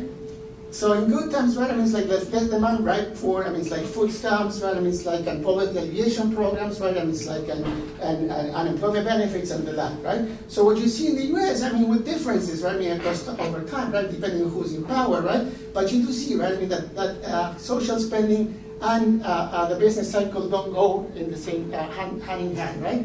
Let me show you the same series for Argentina. So social spending? It's like and uh, and and, and uh, the the, uh, the, the business cycle, economic output, right? I mean, it's like go hand in hand, and the elasticity, right? I mean, of, of social spending to output, right? It's like is, is higher than one. So Argentina spends more on social policies when in good times. I mean, it spends much less in bad times, right? This is by far not an optimal solution, right? And this happens, right? under, I mean, it's like the, the government, right? It's like of, of, of, of, of, parties that, uh, whose constituents, right? I mean, it's like basically those that would benefit the most from counter-cyclical policies.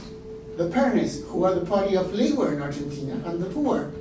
Those are the sectors that don't have access to financial markets, right? I mean, it's like to help them, I mean, it's like smoothen the consumption in bad times, right? I mean, it's like, and the Peronists, right? I mean, the party that should be, I mean, the most counter-cyclical of all, winds up being the most pro-cyclical, right? So what explains this? and, and, and we develop, I mean, it's like in, in, in, in, in research with some uh, uh, co-authors, right? I mean, explanation that's, that's basically driven by the idea that, uh, um, that uh, distribution motivations, right? The uneven, right? I mean, it's like uh, um, distribution of gains and benefits from the different types of policies, in particular, right? Integration with the global economy, right? Are, are, are a, a, a big explanation of why Argentina, right, winds up uh, uh, behaving the way it does, right? So the corollary running from these, right? It's like, and if I want to show you, right, it's like, uh, uh, remember that I showed you a value for Argentina, right? It's like being very procyclical. The degree of procyclicality in Argentina is a, is a function of who's in power. When the parent is in power, the elasticity of spending, right, to output shocks, right, is, is, is uh, uh, uh twice right? So so the thesis is two, right? And it's like and and for no parents, it's basically uh, I mean it's like uh, uh, positive, but it's slightly I mean it's like uh, acyclical, right? So what what what do we learn from this, right? So so the idea is that when we when we decide to join a, a, a, a currency union, right, or enact an inflex, um, fixed exchange rate regime, right? It's like or uh, uh, decide when and how to spend, right? It's like or where to integrate into the global economy. Uh, uh, these all, I mean, uh, policies, there might be some optimal policies we're not, but the cost of those policies and the benefits are not evenly distributed. Right? So to the extent that we cannot get, I mean, the winners and losers from these policies to come together, right? I mean, it's like under one, I mean, common compact, which is what I asked, I mean, before, we're likely to get the result that we saw in the Argentine case. Right? I mean, it's like that the fight for the redistribution of resources in the end winds up pulling running the countries down into a path, right? I mean, that's the one that we see in Greece altogether, right? And, and let me explain, I mean, like give you a, a couple of snippets, right, of, of, of, of what look, Greece looks like, right? I mean, it's like in terms of the choice, for instance, right? I mean, it's like of the exchange rate regime, right? Being part of the European uh, Monetary Union, right?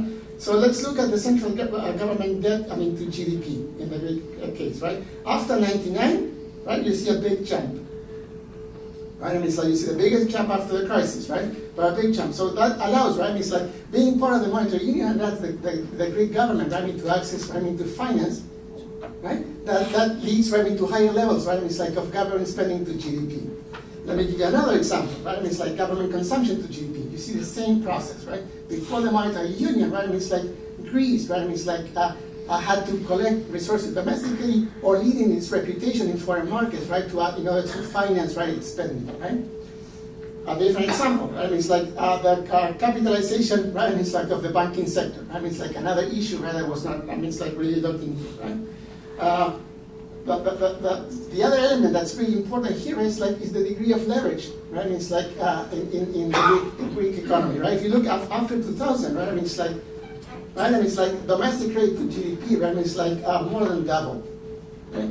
And again, all these things, right? Government consumption, uh, uh, higher access, I mean, it's like to foreign finance, right? Like, could have had a positive consequence increase. They could have led to more investment, right? I mean, it's like uh, better, I mean, it's like uh, social policies, education, and the like, right?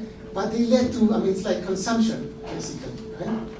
So uh, when we stop, I mean, it's like the flow of capital, right? To, I mean, it's like finance that consumption, right? I mean, it's like then when we close, I mean, it's like the, the, the, the, the, the, water tap, I mean, and water stops uh, falling, right? Then you have to contract, and this is what you observe, right? Uh, same with trade, right? I mean, it's like, so being part of the European Monetary Union had, I mean, it's like a, a big effect, right? I mean, it's like on, on Greece's trade, right? Because now you no longer had to deal, right? I mean, it's like with exchange rate volatility, right? I mean, it's like now you, you have the same exchange rate as, as most of your uh, trading partners, right? So that led to a hike, right, the degree of trade that, that, that, that Greek uh, led, right? Now again, look at the consequences, right? I mean, it's like integration to the European Monetary Union, right? I mean, it's like uh, um, um, did not have much of an effect, right, on, on unemployment in Greece. This is the, the, the, blue line, right? I mean, it's like the unemployment rate, I mean, remained, I mean, it's like around 10, I mean, it's like percent, not very flexible labor market, so it was not maybe as the, as the US uh, one, right? But if you look at, at, at, the difference, right, I mean, it's like of, of for different groups in, in, in Greece, and that may explain, right, the Syriza appeal to the youth, for instance, right? They were benefiting, right? Unemployment among the youth, right, was going down, right, under the European Monetary Union, right? There were opportunities, right? I mean, it's like uh, associated with the flows of capital, right? But right? I mean, it's like, so unemployment rate for, for, for the youth, right, I mean, in, in the 2000 through 2010, right, I mean, it's like was dropping at a faster rate, right, I mean, than for the rest of the economy. But the youth are the ones that are suffering the most, right? And it's like from the current, and it's like a, a, a degree of, of collapsing in, in the Greek economy. So that tells you, right? I mean, it's like that when you think about the solutions to these issues, right? I mean, like in the Greek case, just as we saw in the Argentine case, you have to identify, right? I mean, it's like who the winners and losers might be, right? I mean, from these policies, right? So the bottom line, right? I mean, it's like is that the policies that governments enact before and after, right? I mean, it's like a shock or a collapse are likely to be reflecting. I mean, policy choices that are that are derived, I mean, from the, I mean, it's like the preference of different actors in terms of how they fare, I mean, it's like in different types of, of, of economic regimes. That's the, the, the, the bottom that I wanted to bring to your attention. So we look at solutions, right? I mean, it's like that might be optimal for the country as a whole. We have to think about those solutions, right, I mean, as being politically feasible right? And that side of the debate I haven't seen, right? And it's like uh, in, in, in, the, in the crisis that we observe in, in Greece and the rest of Europe. Thank you.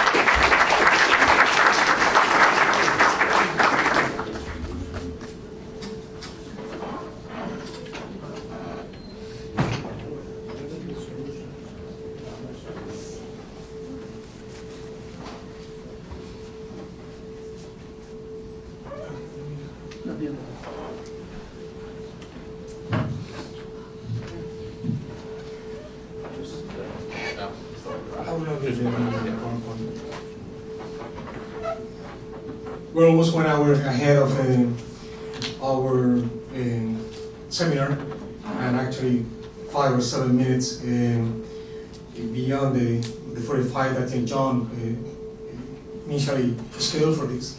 I would like to just to highlight three main elements that uh, uh, exuded from the presentation made by the Minister of Finance from Greece. And I think that you will agree with me that, first of all, uh, Greece seemed to be ill prepared to join the European Union back in 2001. The, even though it uh, may have fulfilled the criteria for joining it, uh, in the end, it has, the Greece economy had structural complexities that were um, completely different to the already uh, existing nation members of the, European Union. Um, and to that effect, uh, we have, like to argue that both politicians and the government do not uh, assess uh, fully and thoroughly the fact, the fundamental fact in or rule of thumb in the regional economic integration, which is trade creation being larger or equal to trade diversion. A Second is uh, is the uh, I think that I perhaps I'm reading between lines or being uh, underneath water, but there seems to be some discontent in his speech to say, and this is something that I share, that they might have, they, there might be a, from the European Union um, perspective some degree of bias, negative bias towards the how they are dealing with the situation in Greece as compared to how they dealt uh, with the one faced by Spain and Portugal. They have been much more uh, tougher, much more uh, harsh, and stringent on uh, on the the economic on the policy instruments and the, the, the ways they are trying to enforce uh, bringing back the Greece economy to to, to the to fulfill or to, to be at the level of other uh, other economies members, member of the European Union, as they, they were for other nations um, that faced crisis, crisis uh, situations in the past. Um, the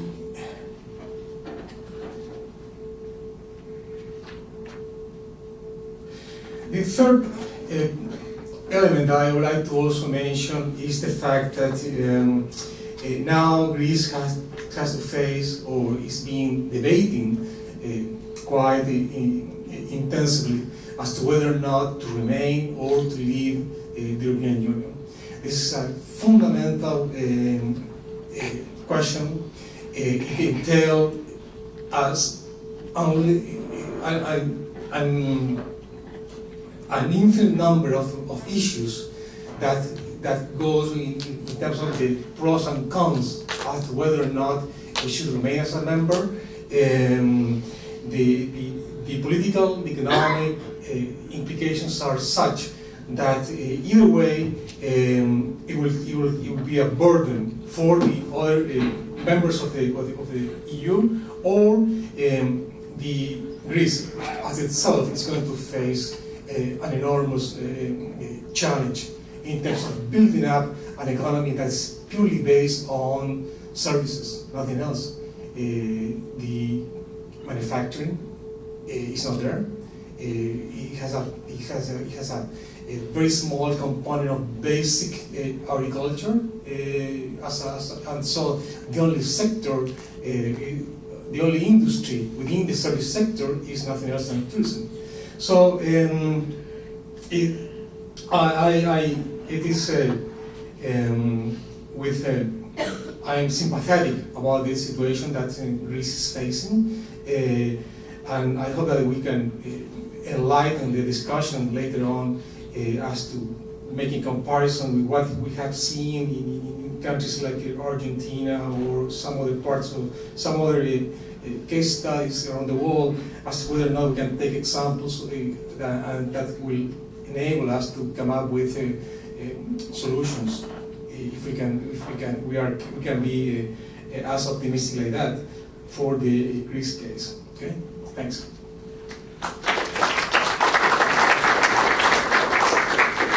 Thank you to all our panelists. We're now going to take a, a quick uh, five-minute break or so. We can grab some coffee if you need to use the restroom. Please do so. And when we come back, we're going to finish playing the minister's remarks, and then we'll bring the panel up to take questions from the audience to discuss the minister's remarks or any questions that you may have. So have, grab some coffee, take a. Demonstrate that they know those policies don't work. Okay, well, again, just before I answer, let me repeat the disclaimer I issued before I made my remarks. Okay, so that's on the record. Um, I, I, think in, in these negotiations, my understanding is that in these negotiations, the IMF is actually more uh, flexible of, of, of the so-called troika that Greece is dealing with, the IMF is arguably the most flexible agency involved, and that the real inflexibility is not coming from the IMF, because the IMF has extensive experience with these programs, uh, not just in Europe but around the world, and I think they've learned a lot from their experience about what works and what doesn't work. They may not have always gotten it right, but they're in this business. They've been in this business for a long time, and my impression, again, as, as an outsider is that the IMF is actually somewhat more flexible and that the less flexible partners are based in Europe, not Washington. Um, how you deal with, I mean, arguably, some of these problems could have been avoided from the outset by allowing a complete default, and that was ruled out. I mean, this also this didn't apply just to Greece, but also to the other countries that got into trouble. There was this issue that sovereign debt should be considered sacrosanct within the euro area, and that the ECB in particular did not want to see any sovereigns defaulting on their debt because that would then raise a whole host of financial stability issues. And again, I think when the history of this episode is written, um, you know, the maybe the ECB will you know, rethink its position on these things. But arguably, a lot of what Greece has had to go through, what Ireland had to go through, what Spain and Portugal had to go through, could have been avoided if you had sovereign defaults. But I think the ECB, arguably legitimately, was concerned about if you did have sovereign defaults, that that would have enormous spillover effects to the rest of the euro area, which might have been hard to control. And I, I you know, if you put yourself in uh, President Trichet's shoes, you know, you probably would have made the same call yourself because these calls were made at a time when the global economy was at its most fragile uh, state that it has been in since the Great Depression. And the last thing the global economy needed was a major shock in the second most powerful economic region in the world.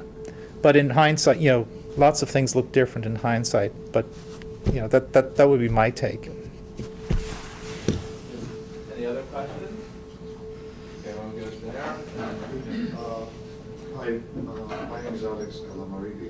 Question is, I'd like uh, you to comment a little bit more on the road ahead. What are the potential outcomes from this impasse for Greece? How does Greece move forward? What are the different scenarios? And what are your thoughts as to the pros and cons of the different scenarios? Is that to me as far as? Or Does anybody else? any gentleman that You want to, feel you want to comfortable take that or with? Pablo? No. Sorry. Dr. Um, I, I, it, it, it is very hard to see a way out for the Greeks with the current debt level. I mean, it, unless some growth miracle occurs, um, it's very difficult to see how you grow your way out from a debt burden of 180% of GDP. It's not unprecedented. It has happened. The United Kingdom, after the Napoleonic Wars, had a debt to GDP ratio in excess of 200% of GDP. They grew out from under that without ever defaulting.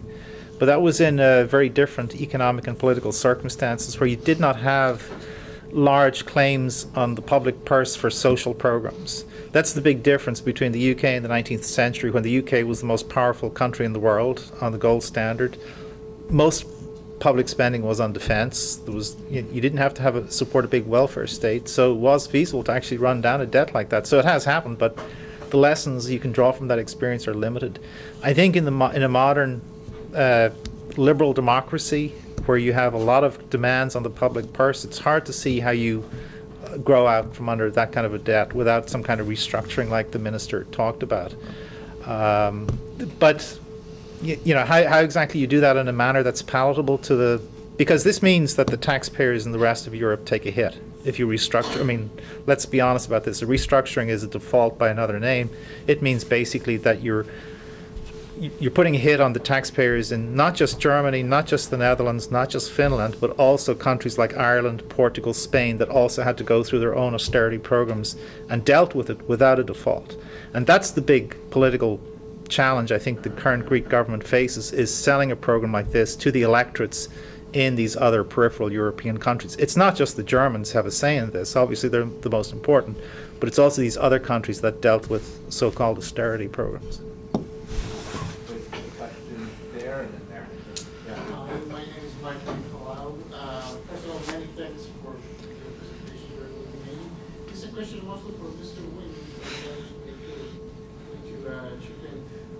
There is a lot of documentation on the Latin monetary union that uh, the Europeans tried in the nineteenth century.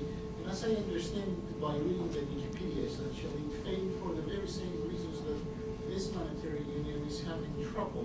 Did we learn anything from that previous experiment? Uh, Are there any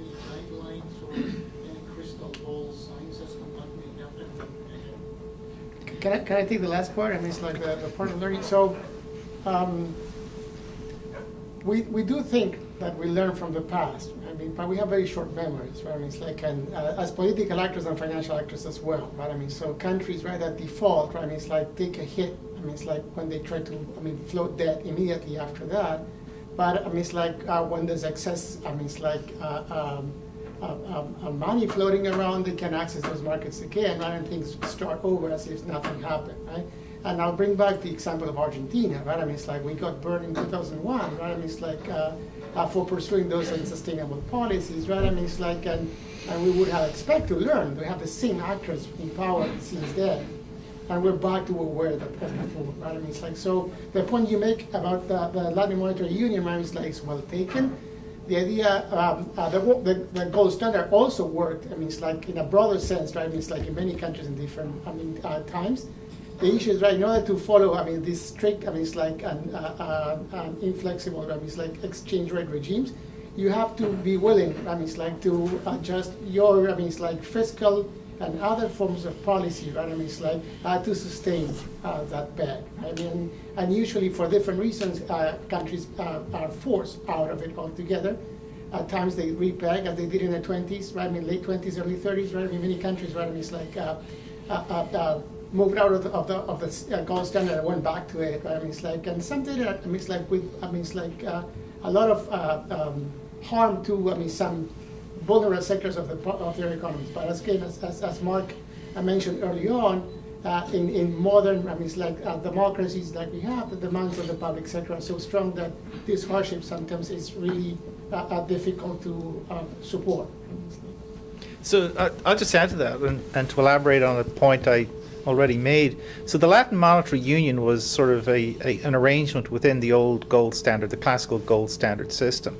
Um, and the key to the gold standard was you had this ironclad rule that you had to maintain convertibility of your currency into precious metals, uh, which limited the ability of monetary policy to be used for stabilizing economic activity or dealing with bank runs.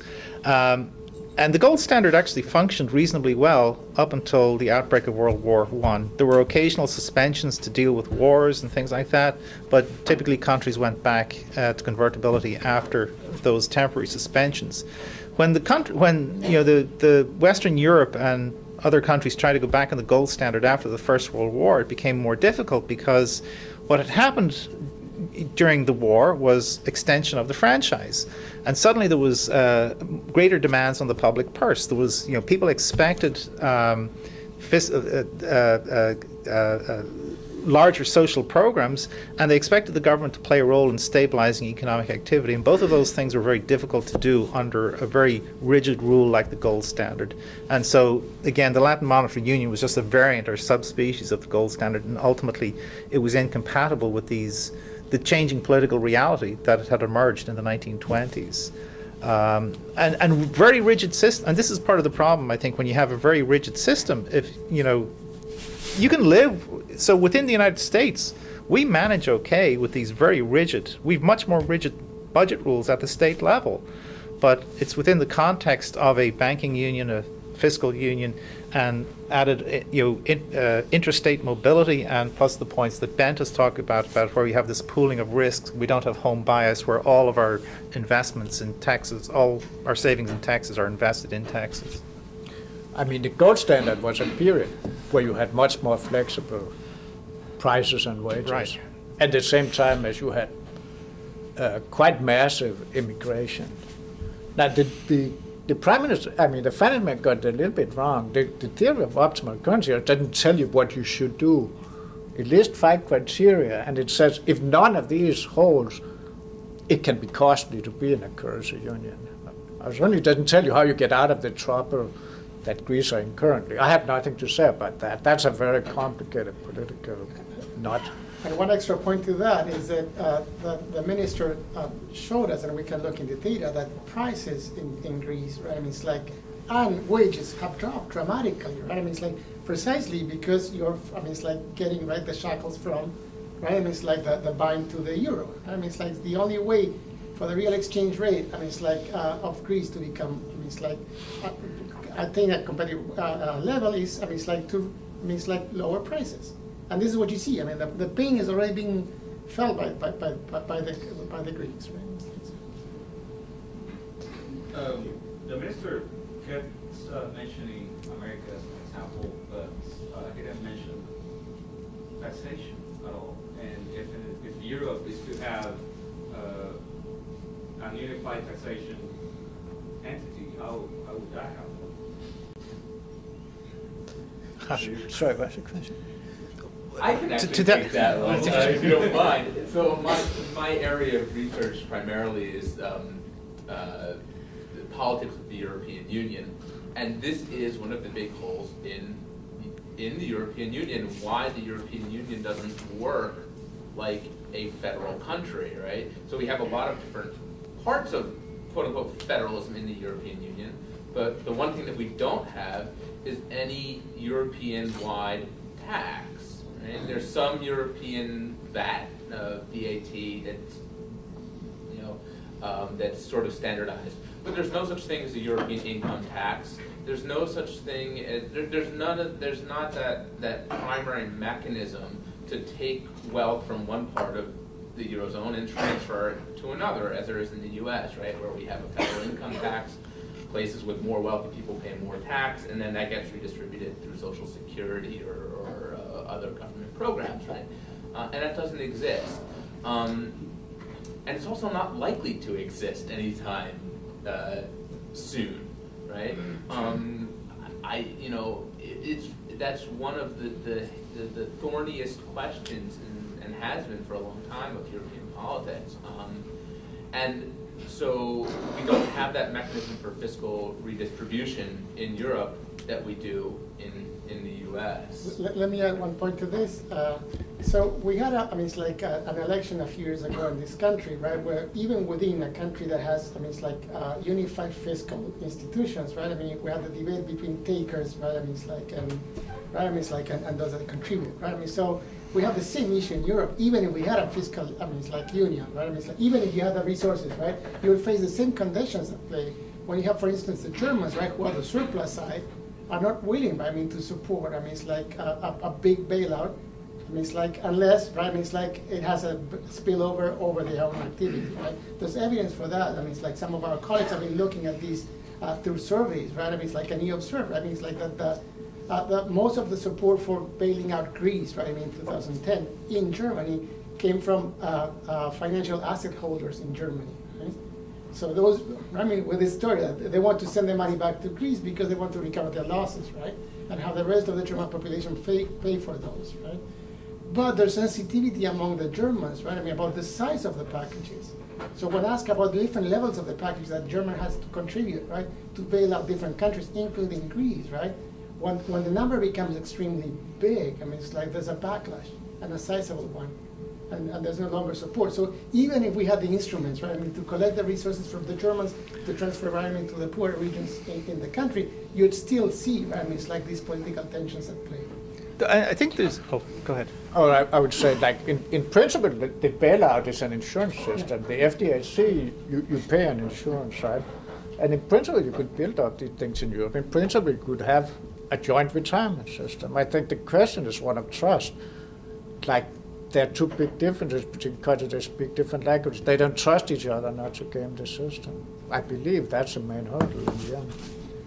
I, I mean, I think there's two dimensions too to having a fiscal union. You can think of a fiscal union as a a way of pooling localized risks so that you know when Texas had its bust in the 1980s we received transfers from the rest of the country that helped smooth out the that bust and likewise when we're doing well but Michigan's in trouble, we're making transfers to Michigan. But those are tra- temporary transfers. It's just like a big insurance pool. And I think that's an easier proposition to sell than something like a permanent transfer union, such as exists between northern and southern Italy. And that's where I think the Germans get really, really upset. Um, and I think the minister's reference to Greece as a deficit country is problematic in that regard. It's sort of insinuating that there's a permanent flow into these countries. I mean, countries are not deficit countries. You're a deficit because you make certain choices with your public finances. And that's not, you know, I, I can see why people might be unwilling to sign up to a permanent arrangement where you're just permanently making transfer payments, such as those that exist within, say, the Italian uh, uh, state. Uh, this is not a question, well, let's, let's we were talking about the taxation, uh, European taxation. Mm -hmm. So on this subject, uh, I think this is not uh, an economist that speaks, uh, let us say, he is the wisdom of the street. Uh, I think European taxation is not imposed there because there is a Germany in 1945 is just starving, and there is uh, money that comes from the West, either London or New York, and bails Germany out. When someone finances someone, their Germany owns the country. So Germany is not really the Germany we are talking about. It is just a little shop of the banks of the West. Now Germany is the bully guy that speaks for other guys in Europe. If we had a taxation, we would have also an army in Europe, and that is against NATO. Things they get complicated, and that is interest uh, that they protect banks again.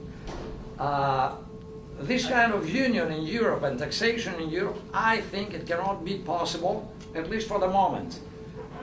I'm going to have to ask you to, to, to, to, end there because we do only have a few minutes left, and I'm going to take one more question. Yeah, you don't want to hear that. I have a question. I haven't heard the word remittance yet. Um, you we have a lot of you know, Greeks and Greek Americans here who do help our family back in Greece. What is the role of remittances played in the Greek economy in terms of helping them in that, I guess, what they call supply side? Uh, Um, my understanding is that it, it's it's relatively small. I mean, obviously, the importance of remittances depends on how big your diaspora is, and then also relative income levels and things like that. I, I don't have an exact number. I actually wrote a, a piece recently for one of our bank publications looking at remittances as one of the ways in which the losses that occur as a result of outmigration can be mitigated for the home home country from which migrants come.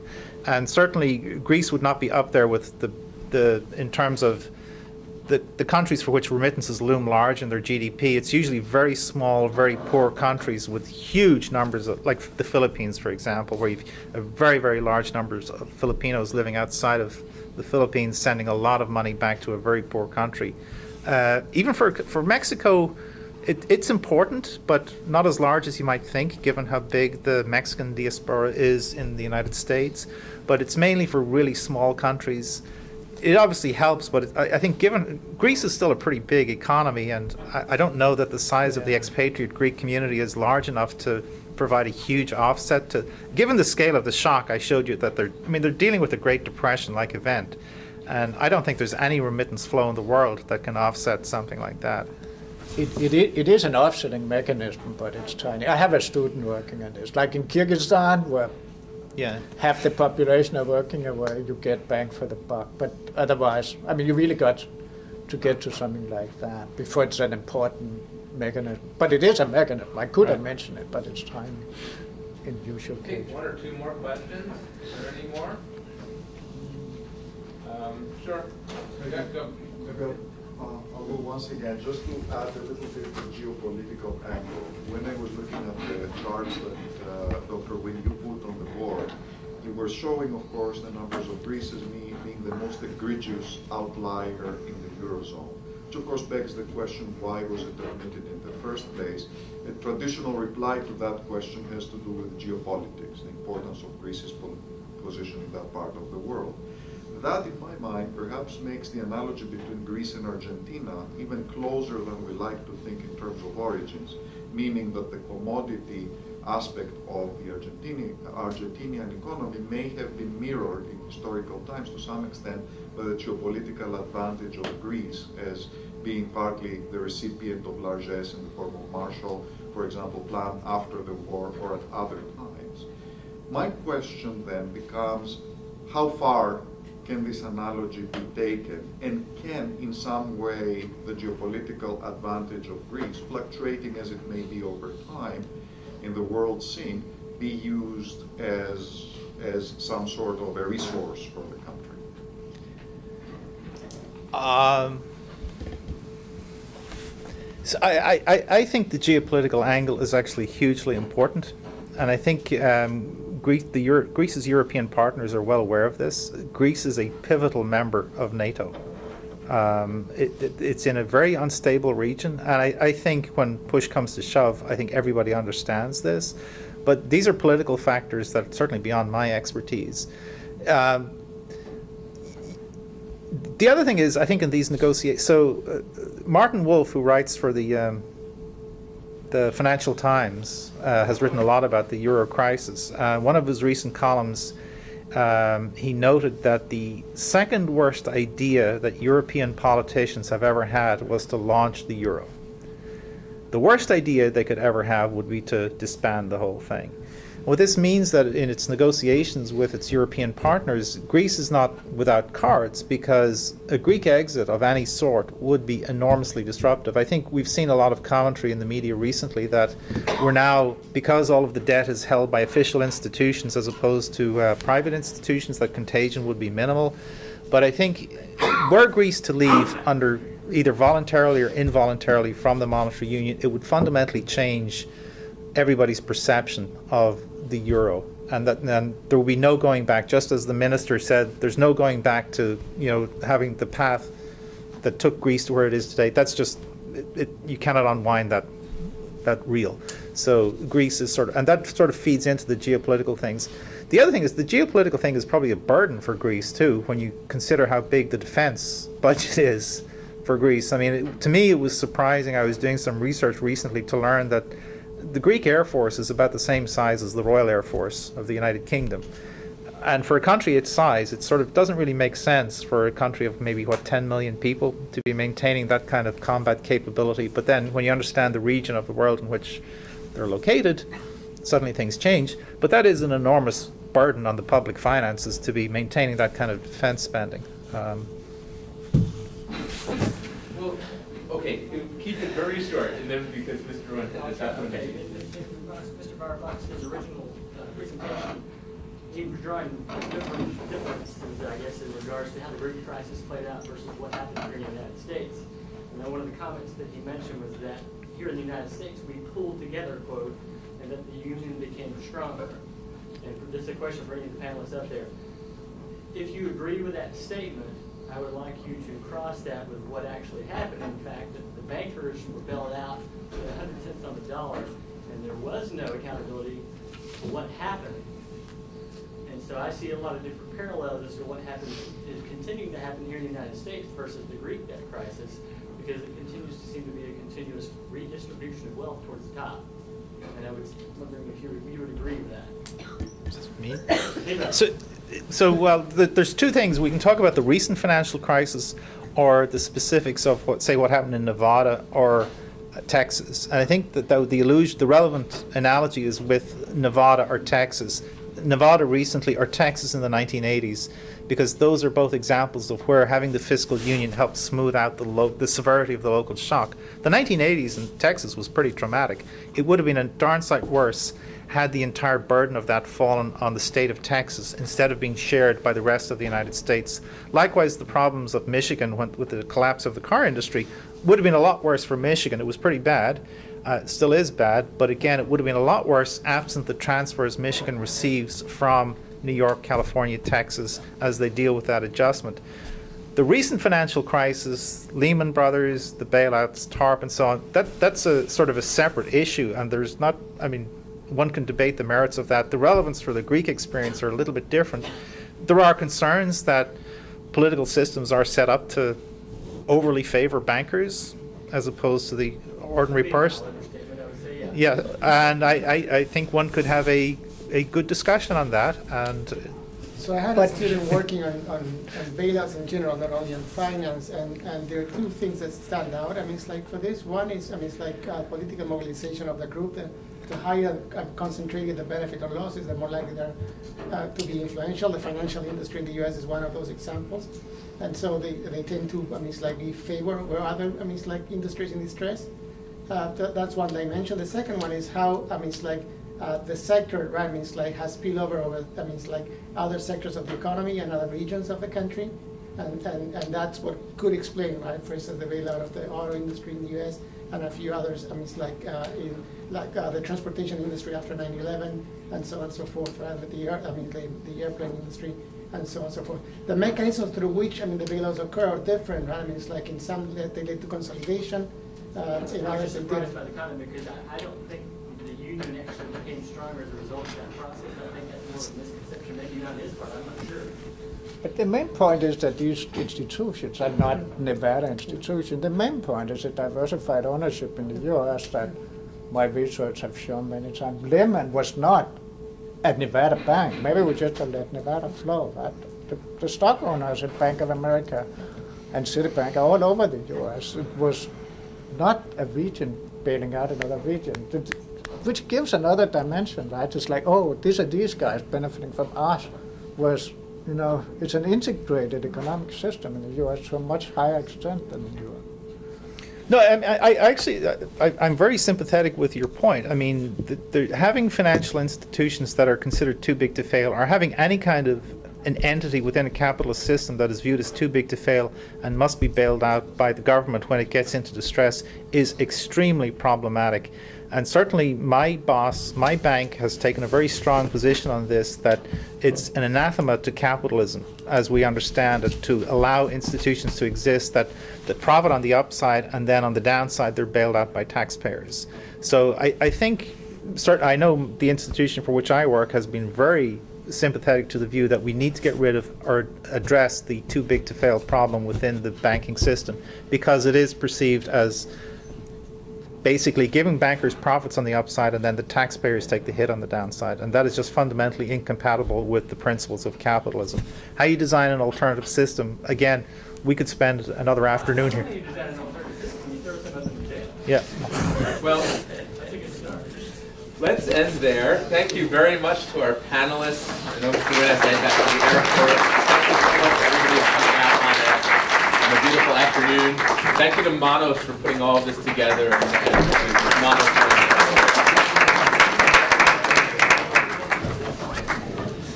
Well, you did well, Could you have a little bit of more knowledge about it.